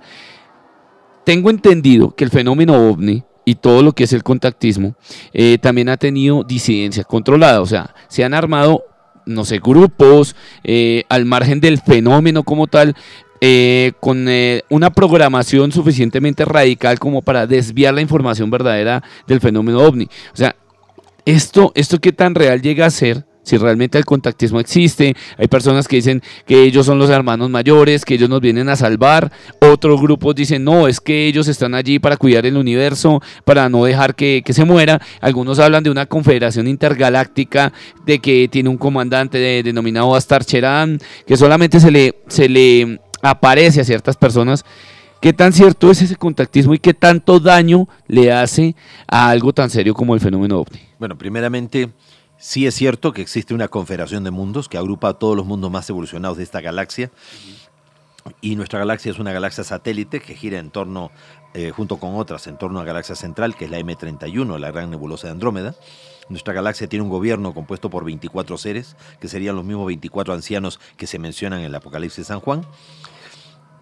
Eh, hay todo un orden jerárquico de civilizaciones. Debajo de estos 24 ancianos estarían los llamados ingenieros genéticos o sembradores de vida, una suerte de jardineros cósmicos, más abajo los guardianes vigilantes y más cerca a nuestro los instructores. Ellos disponen quiénes, bajo qué condiciones pueden venir a un planeta como el nuestro, a echarnos una mano o a impedir de que nadie pueda entorpecer el proceso de evolución de planetas como el nuestro. Ahora, eh, eh, hay una serie de misiones, una de ellas es la del plan cósmico, pues que era extraer información que pudiera servir a ellos para seguir avanzando y salir del estancamiento evolutivo. Ahora, este, hay extraterrestres bien intencionados y mal intencionados, hay de todo en el universo como de toda la Tierra. No es tan fácil que los que no vienen con buenas intenciones puedan actuar libremente en nuestro mundo. Hay una cuarentena planetaria y naves como la que se estrelló en Roswell el 2 de julio del año 47 fueron derribadas por esas que nos están protegiendo. Ahora, eh, eh, hay muchas formas que han tenido los gobiernos o los intereses creados ya de ocultar la información. Eh, como ya no se puede seguir negando el tema, o sea, porque esto ya rebasa la capacidad de control, entonces una buena forma de poder seguir ocultando el tema ovni es ya no negándolo, sino aceptándolo y liberando cantidad de información fraudulenta. O sea, esto se llama la política de intoxicación informativa. A fines de los años 70, se le hizo un juicio al gobierno norteamericano para que liberara información considerada clasificada. Em, el gobierno norteamericano perdió el juicio a mediados de los años 80. El gobierno se vio en la obligación de tener que publicar el informe Matrix, ¿no? O sea, o sea em, más bien, perdón, o sea, eh, documentos clasificados del gobierno y todos estos documentos estaban tachados, ¿no? Tachada la fecha, quién iba dirigido, quién lo contenía. O sea, e, el juez ordenó que se publicaran los documentos, los publicaron, pero nunca se dijo en qué estado iban a salir. Todos los documentos no, eran ilegibles. Ahora, entonces, paralelamente a esto, algunos directores de cine y televisión de, Estados Unidos, como Linda Rowe, Joseph Chandera, comienzan a recibir de la CIA microfilms con documentos que vienen a constituir lo que se conoce, eso sí, el informe Matrix. Y el informe Matrix ya supuestamente son los mismos documentos pero sin tacharse. Y en esos documentos se dice de que se logró recuperar a un extraterrestre vivo llamado EVE, entidad biológica extraterrestre, eh, cerca de una base militar en Arizona. Y que gracias a este ser se pudo conectarse con los otros seres que vinieron a recogerlo. Y entonces, en una experiencia tipo encuentro cercano del tercer tipo, la nave aterriza, dialogan y se firma un tratado, un acuerdo, por el cual el gobierno norteamericano va a recibir eh, tecnología de vuelo en naves extraterrestres y algunas naves para su uso particular, a cambio de que se le permita a los extraterrestres instalarse en bases subterráneas en la zona reservada para pruebas atómicas, donde nadie entra, pueden pasar desapercibidos fácilmente allí, y experimentar con animales y con seres humanos, siempre y cuando dé una lista de las personas que se llevaban. Según esta información, eh, los extraterrestres eh, o sea, como que el gobierno norteamericano llegó a enterarse de que había sido estafado, porque el mismo acuerdo lo habían hecho con los rusos, y que se estaban llevando más gente de la que figuraba en las listas, por lo cual Estados Unidos estaba como muy angustiado, preocupado por esta situación. Ahora, eh, todo esto, toda esta información es falsa. O sea, no es cierto que se haya firmado pacto secreto con estos extraterrestres grises o con seres extraterrestres reptiloides. No se ha firmado ningún pacto secreto.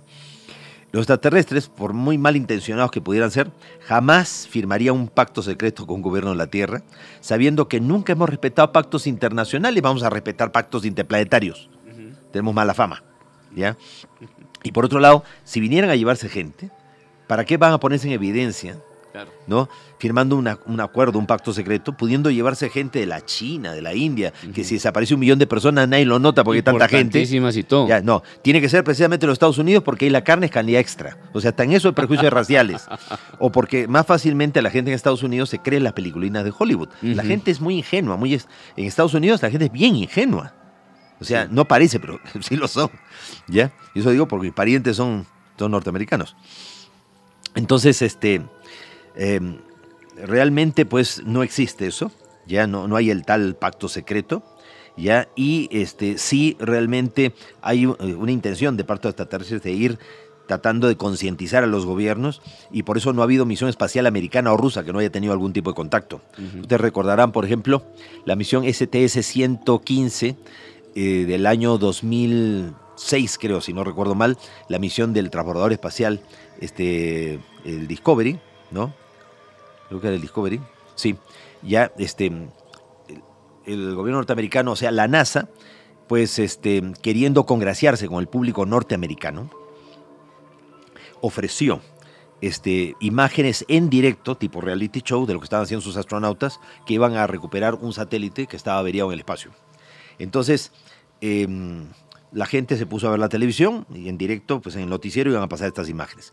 Entonces se ve claramente pues como este, el transbordador, ¿no? el Discovery, saca su, brazo retráctil, captura el satélite y los astronautas comienzan a flotar en el espacio y se acercan para hacer la reparación.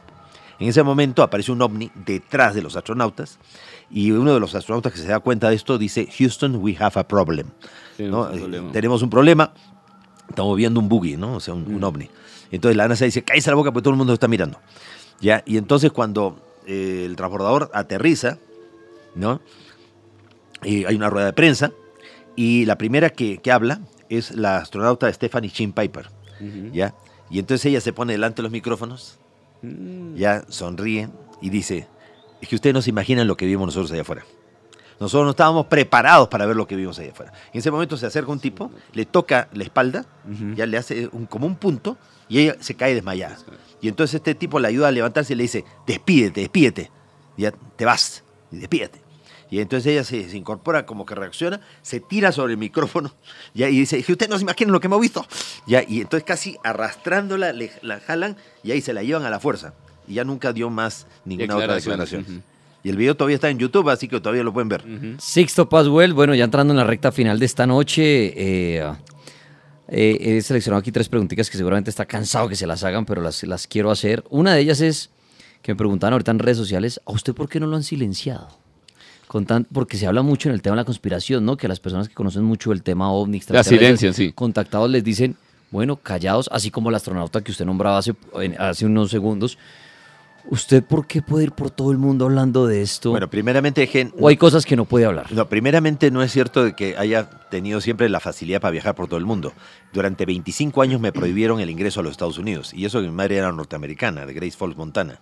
O sea, después de que invitamos por quinta vez a la prensa en el año 89 a los periodistas, a los periodistas los censuraron, les quitaron las filmaciones y a mí me prohibieron el ingreso a Estados Unidos por 25 años.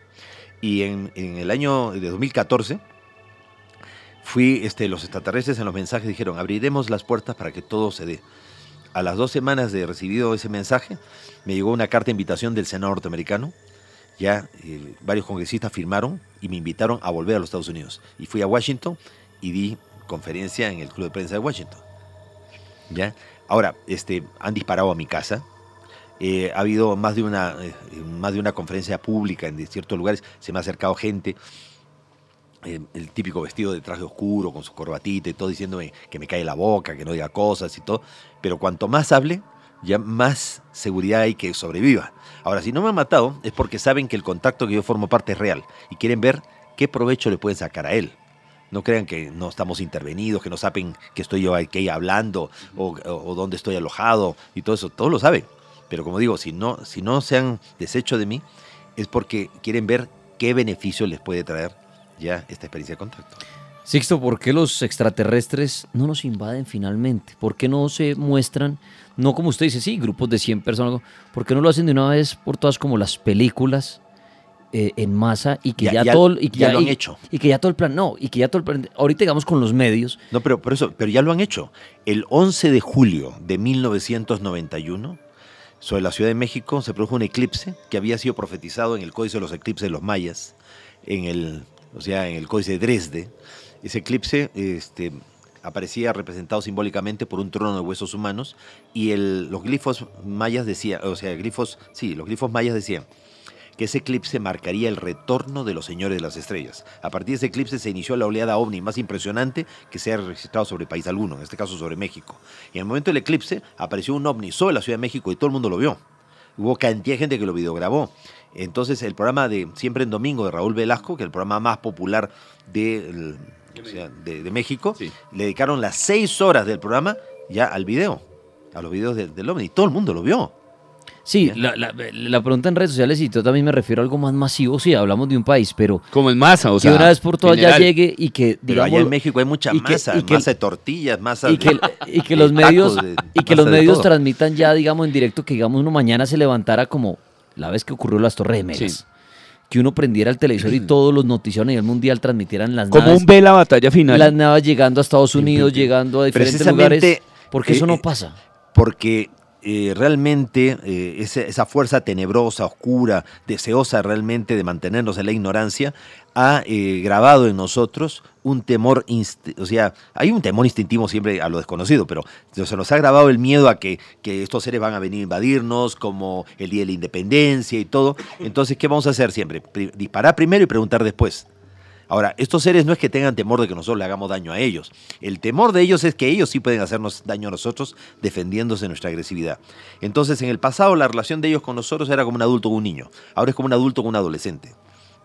Entonces están esperando a que nosotros lleguemos a esa juventud responsable que nos permita sobrevivir a nosotros mismos, a la intolerancia, a la estupidez, a la ansiedad, al egoísmo y se produzca el contacto definitivo. Cada día hay más gente consciente y dispuesta para la experiencia del contacto y Colombia es un lugar que tiene muchos lugares ya, pero ideales para la zona del contacto. O sea, en este caso, el Cabo de la Vela, allá en La Guajira, el desierto de la Tatacoa en, en el Huila, en Neiva, este, la zona de San Agustín.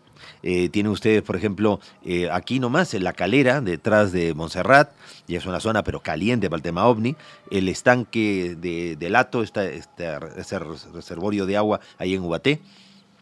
Hemos tenido, con Carlos ha organizado salidas ahí con los grupos nuestros y ya ha habido experiencias fabulosas. Yo soy testigo de esas en experiencias. Guatavita Ya Guatavita, en la laguna de Tota, en la laguna de Tota se ha iluminado. Sierra Nevada. Se, se ha- se ha iluminado el lago y hemos visto salir la, la nave del interior de, de la laguna de Tota. Huayca ¿Ya? Sí, Huayca, por ejemplo. Sí, sí, O sea, está la cantidad de lugares ya que, que verdaderamente no importa el lugar, lo que importa es la preparación de las personas. Y la última pregunta, Sixto, ¿los extraterrestres a usted le han comentado si ellos saben la fecha de- del fin de este mundo? Según ellos, el mundo no se va a acabar. ¿Por qué? Porque ya se acabó antes y no se va a volver a acabar.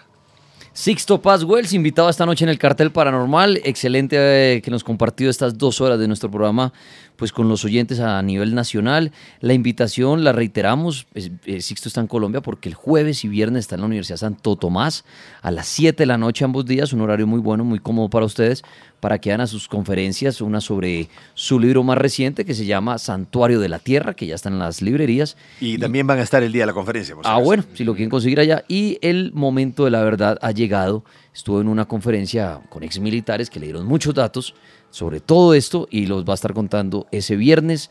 Eh, también tiene una salida el sábado, como lo comentaba, ya la salida al norte de Bogotá por la carrera séptima con calle 230 y pico, como un, un retiro para que también eh, puedan meditar y hacer todo esto. O sea, cosas interesantes trae Sixto a Colombia. Los que quieran más información de toda esta gira suya, Sixto, ¿en dónde se comunican?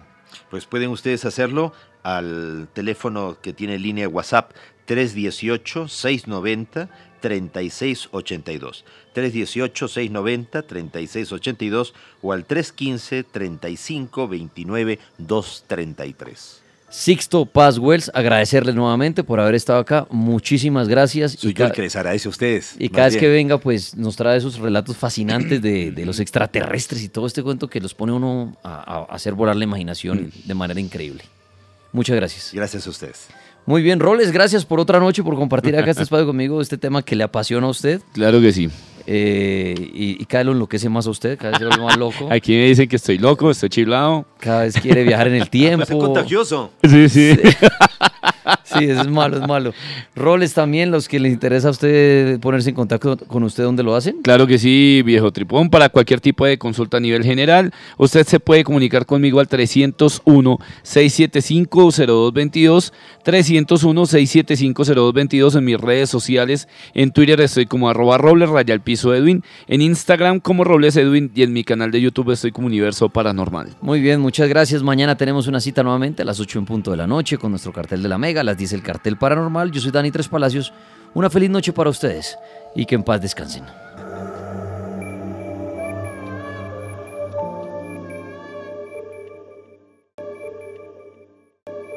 a 10 veces la velocidad de la luz. No, es imposible, ¿no? La velocidad de la luz, casi 300.000 kilómetros por segundo, eso no se puede superar.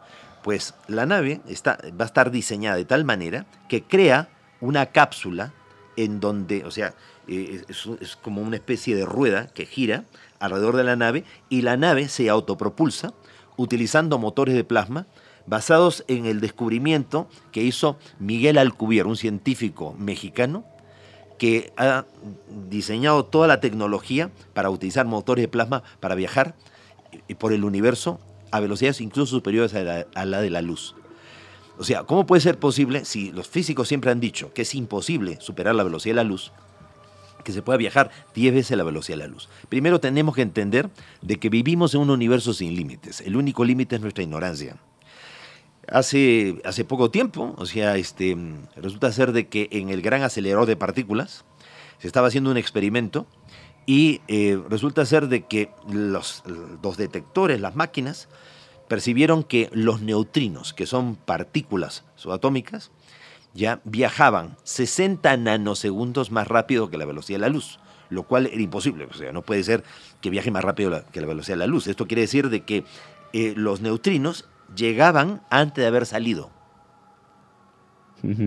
Y al final es la única respuesta y la única posibilidad para viajar por el universo. La galaxia más cercana a nosotros se encuentra a 2 millones de años luz de distancia. Si nosotros quisiéramos ir a Andrómeda, tendríamos que ir, o sea, si supongamos que lográramos alcanzar la velocidad de la luz, cosa que es imposible porque nos convertiríamos en luz y no habría forma de volvernos a cohesionar, nos demoraríamos 2 millones de años en llegar a la galaxia. Supongamos que nos quedamos por lo menos 24 horas para comprar souvenirs para la familia, tomarnos una foto pues en la rambla ahí con los, con los aborígenes. Llegamos acá, ya no hay nada. sí, ya, y cuando nosotros regresamos, ya, después de 4 millones de años y un día, aquí en la Tierra han pasado 400 millones de años. Y difícilmente tu pareja te va a tener caliente la sopa. ¿no es cierto? Y te va a creer, sí, te voy a creer que estuviste en otra galaxia, ¿no es cierto? Porque no habría nadie. ¿Ya? Entonces, ¿qué? ¿Es imposible viajar por el universo? No, no es imposible. Lo que pasa es que de acuerdo a la tecnología que teníamos, hasta antes de Miguel Alcubierre, era imposible. Ahora se nos abre un abanico de posibilidades impresionante. Por eso en este momento los científicos en Estados Unidos, como Stephen Hawking en Inglaterra, Stephen Hawking, antes de morir en el 2014, en una entrevista que le hicieron el Discovery Channel, y que él se comunicaba a través de una computadora y moviendo solamente un dedito, pues él declaró que él estaba convencido que los extraterrestres existen, pero recomendaba que no tratáramos de comunicarnos con ellos, porque Sí. podrían venir a invadirnos o a conquistarnos. ¿Ya? Ahora, este, nosotros creemos que estos seres se van a comportar con nosotros como nosotros nos comportaríamos con ellos. Si vinieran con malas intenciones, hace tiempo que nos hubieran hecho polvo. Eso, lo que acaba de decir Sixto, lo pone a pensar mucho. Sí, la semana pasada hablamos de Stephen Hawking y decía uno, sí, él dijo, hay extraterrestres, pero no los molesten, ni los busquen, porque si se enteran que estamos acá, nos acaban. Pero ahora lo que Sixto dice, si, Es que si ellos quisiera- nos han buscado a nosotros Si quisieran acabarnos, ya lo hubieran hecho. Ahí, ahí viene mi pregunta, Sixto, ya que está tocando los temas actuales, modernos de la tecnología, de lo que está haciendo la NASA, de lo que se descubre día a día.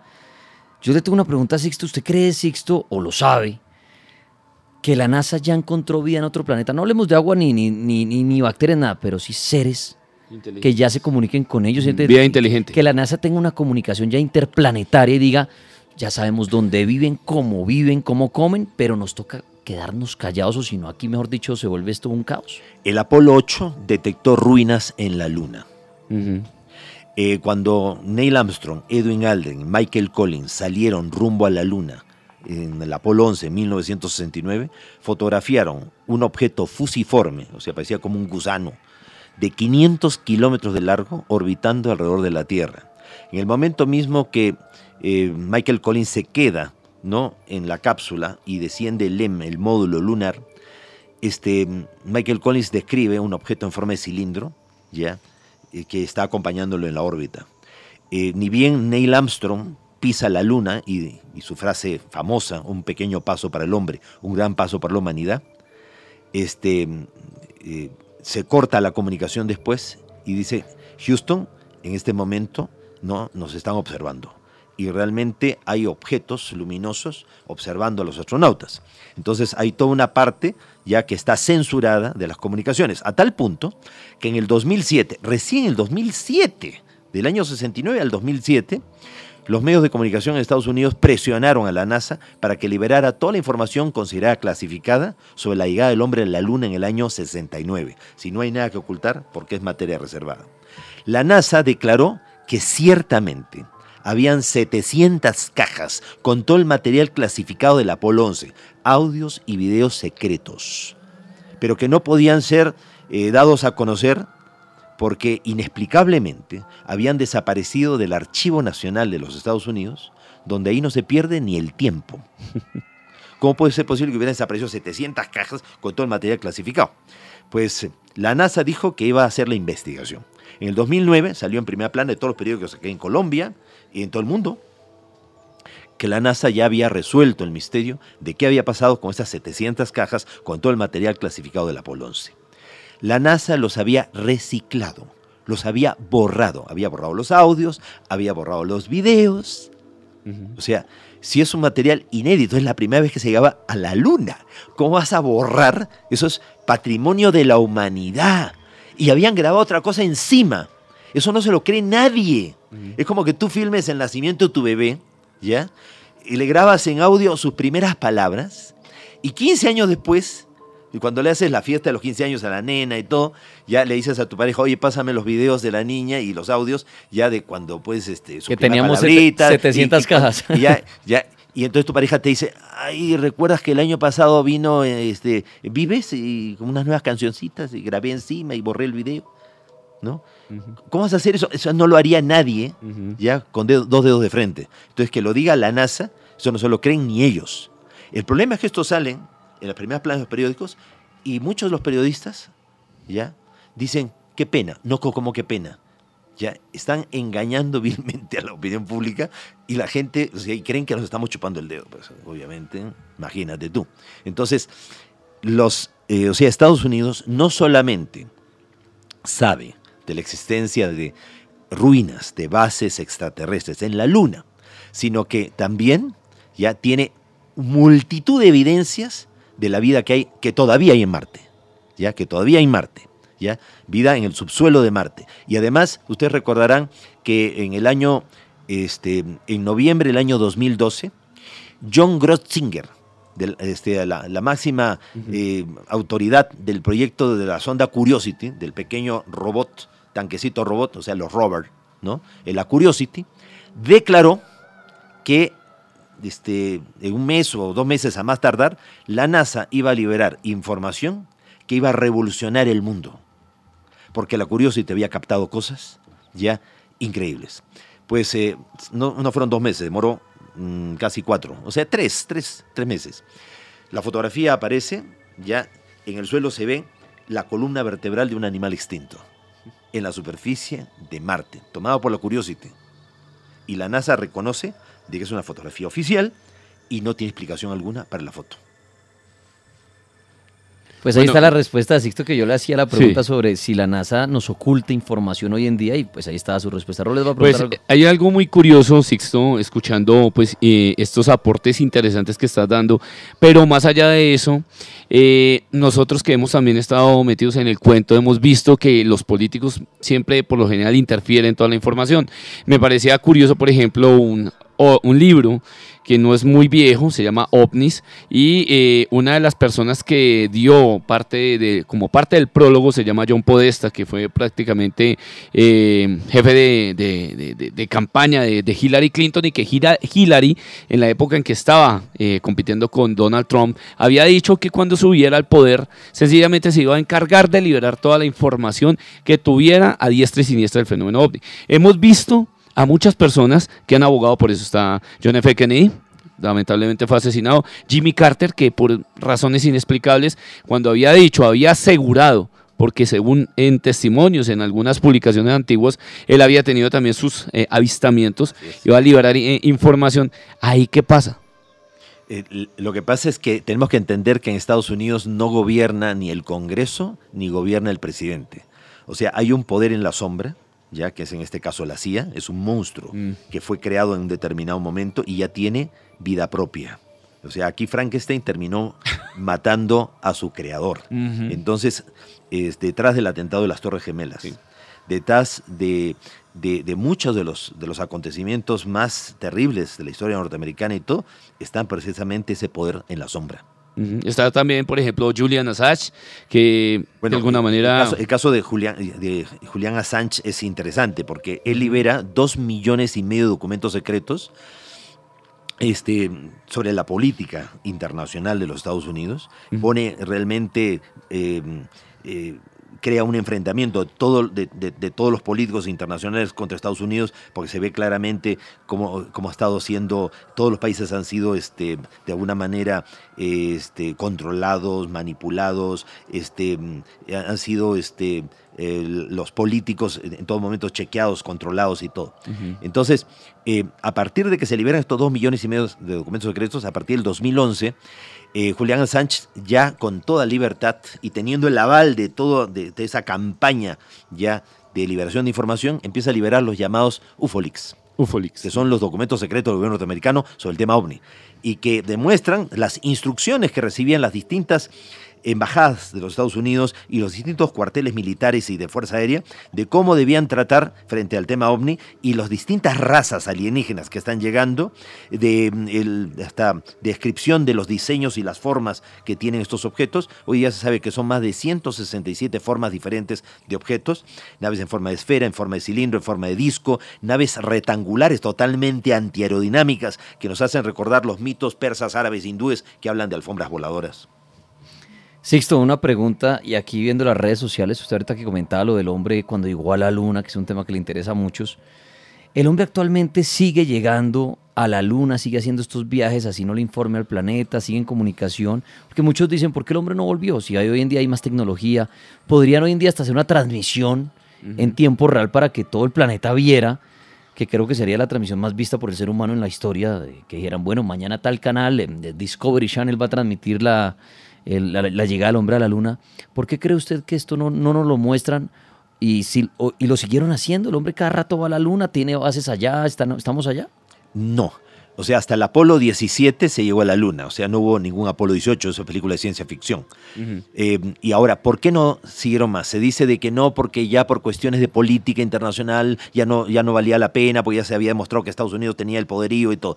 No, lo que ocurre es que Estados Unidos lanzó bombas nucleares contra la Luna, destruyendo todas las, las ruinas de las bases y todo eso.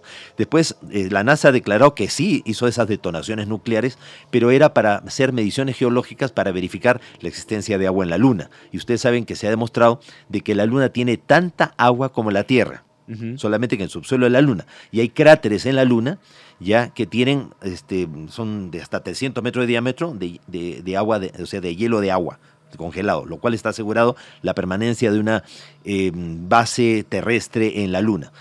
Ahora, estas, o sea, estas eh, proyecciones en tiempo real con toda la tecnología que tenemos están viniendo de Marte. Y, ya han visto ustedes, por ejemplo, cómo la sonda Spirit, que llegó en el año 2004, eh, aterrizó en Marte, se, se- o sea, llegó a desamblarse o sea, sola, o sea, y, y tomó la primera fotografía de su bracito y la segunda fotografía de, de la muestra del suelo que tomó. La tercera fotografía que toma ya es la de un objeto cilíndrico pasando sobre el horizonte marciano. Eso en el 2004. Pues en 1989, Marina Popovich, la gran astronauta y astrofísica rusa, dio a conocer una fotografía tomada por el satélite este, Phobos 2, o sea, un satélite ruso que fue enviado entre las lunas de Phobos y Deimos en Marte. O sea, nuestra luna está más o menos a unos 350 mil kilómetros de la Tierra. Eh, a veces está más cerca, a veces está más lejos. ¿Por qué? Porque la órbita no es circular, es una órbita elíptica. Pues Marte tiene sus dos lunas a más o menos unos 3.000 kilómetros de la superficie de Marte. Está cerquísima, Al 3.000 lado. kilómetros. ¿Ya? Y son unas lunas medias raras, decía, que son medio golpeadas, o sea, nos tienen una forma así como muy bonita que digamos. Bueno, el asunto es que entre ambas lunas, en el año 89, la sonda Phobos 2 fotografió un objeto cilíndrico que se calculó medía 24 kilómetros de largo y proyectaba una, una sombra sobre la superficie de Marte de 27 kilómetros de largo. ¿ya? Pues ese mismo objeto cilíndrico, captado por la sonda Phobos 2 en el año 89, aparece en la fotografía, la tercera fotografía tomada por la sonda este, Spirit sobre la superficie de Marte, en el horizonte, pasando por el horizonte. Impresionante. Y ahora, últimamente nomás, ya nuevamente eh, los rovers, en este caso el Espíritu, acaba de fotografiar el mismo objeto en forma de cilindro, ya pasando, ya por, eh, orbitando alrededor de Marte, o sea, después de muchísimos años. En otras las fotografías también tomadas por el Spirit se ven las colinas de Marte y una bola, o sea, una esfera oscura flotando sobre la superficie de Marte. Después, eh, en el año 2007, o sea, tres años después de las primeras fotografías, la sonda Spirit se acerca a, a un cráter de Marte y en el borde del cráter aparece la silueta como de una mujer sentada, como si fuera una sirena. Ya. Si es una formación rocosa es increíble, es espectacular. Sin embargo, en vez de enviar a la sonda, al robotito, para que se acerque y le pregunte, oiga, ¿usted es una sirena o usted solamente es una piedra que tiene forma humana? Ya, inmediatamente lo, lo envían cuatro kilómetros más lejos, ya, alejándose siempre las evidencias. Pero como hoy por hoy todas las señales están llegando en tiempo real, y están siendo captadas por muchos radiotelescopios de universidades, de otros países. Ya no hay ese control de que cuando llegaban las señales estaban los norteamericanos ahí en España o en Italia o en cualquier lugar y inmediatamente apagaban los monitores y obligaban a desalojar a los científicos locales. Ahora ya no pueden hacer eso, pues. Claro. Y ahora todo el mundo se entera de lo que se capta. ¿Ya? Y ese es el problema, pues. Ahora aparece cada cosa. Ah, Sixto, la semana pasada, Robles, ¿se acuerda? Estábamos hablando de los seres intraterrestres. Sí, señor. Y se hablaba que si uno va, y como mucha gente visita hoy el famoso Google Earth, que es para observar el planeta y todo, va uno a los polos y se sorprende que hay información oculta, que ponen unas manchas negras para que uno no pueda observar. Sí, las tapan. Entonces alguien me acordaba acá en redes sociales, me decía, pregúntele a Sixto, que además Sixto fue una persona contactada por seres, estuvo en unas naves y todo, si realmente nuestro planeta y otros planetas tienen esas entradas para esas naves que vienen a visitarnos. Y realmente en los polos puede entrar uno por ahí hasta el centro de la Tierra. Como y ahí hay- mundos intraterrenos. Exacto. ¿Eso qué sabe Sixto de eso? Si eso Bueno. es cierto, hay túneles para, para unos seres que vienen del más allá y pueden entrar al centro de la Tierra. Bueno, primeramente todos los mitos y leyendas de los pueblos antiguos hablan de esas cavernas, esos túneles, de esas ciudades intraterrenas. O sea, eso no es eh, novedad. Eh, se habla, por ejemplo, allá en la Argentina, de la ciudad de Minchemapuc o la ciudad de los Césares, una ciudad intraterrena que estaría muy cerca de San Carlos de Bariloche. Se habla en la zona de, de Mendoza, de Isidris, una ciudad también intraterrena. En la zona de Capilla del Monte, en Córdoba, se habla de Erx, debajo del Uritorco, debajo de la quebrada de, de la Luna. Eh, se habla de, de las cavernas estas donde los comechingones desaparecieron y todo, las cuevas de Ongamira. Eh, se habla en Brasil, por ejemplo, de eh, la Sierra del Roncador, donde también hay túneles y galerías. Se habla de una ciudad intraterrena en la Sierra de, de, em, en Paraúna, en la Sierra de Goiás. Allá en el Perú se habla de Paititi, la legendaria ciudad del Dorado, la versión peruana del Dorado. Sí. ¿ya? Porque em, si bien la- el origen del Dorado es una leyenda de origen este, muisca, ¿no? De los, este, ¿qué te digo? De Guatavita ahí del- de la laguna y todo, del dorado que se pintaba todo el cuerpo dorado y hacía sus ofrendas y todo. Pues este, allá en el Perú, eh, a la muerte este, del Inca Huayna Cápac, pues hubo una lucha entre Huáscar y Atahualpa. Pero este, el Inca Cápac tenía como 100 hijos y uno de ellos se llamaba Choque Auqui. Auqui significa príncipe y Choque dorado, el príncipe dorado. Entonces, esa es la versión del dorado de los incas. Entonces, 100 años antes de la conquista española, eh, los incas llegaron a, a adentrarse dentro de la selva amazónica y fundaron una última ciudad de penetración al estilo del Machu Picchu. Esta ciudad se llamó Painquinquín. ¿ya? Y Painquinquín es lo que hoy día conocemos como Paititi. Entonces es una ciudad que se encuentra en las nacientes del río Sisquivenia, que es un afluente ya del río eh, Rinconadero, del río Palotoa, del río Panteacoya y del río del Alto Madre de Dios. Ya entonces eh, es una zona donde hay ruinas, donde hay ruinas eh, y, y donde habrían realmente también cavernas que llevan realmente a ese mundo intraterreno. Ahora, según el contacto que nosotros tenemos, sí existen ciudades intraterrestres. Hace eh, dos, más o menos unos 12.000 a 13.000 años los nuestros, dos grandes civilizaciones, eh, o sea, hace 26.000 años, perdón, de los nuestros, dos grandes civilizaciones fueron enviados aquí a la Tierra en calidad de guardianes y vigilantes.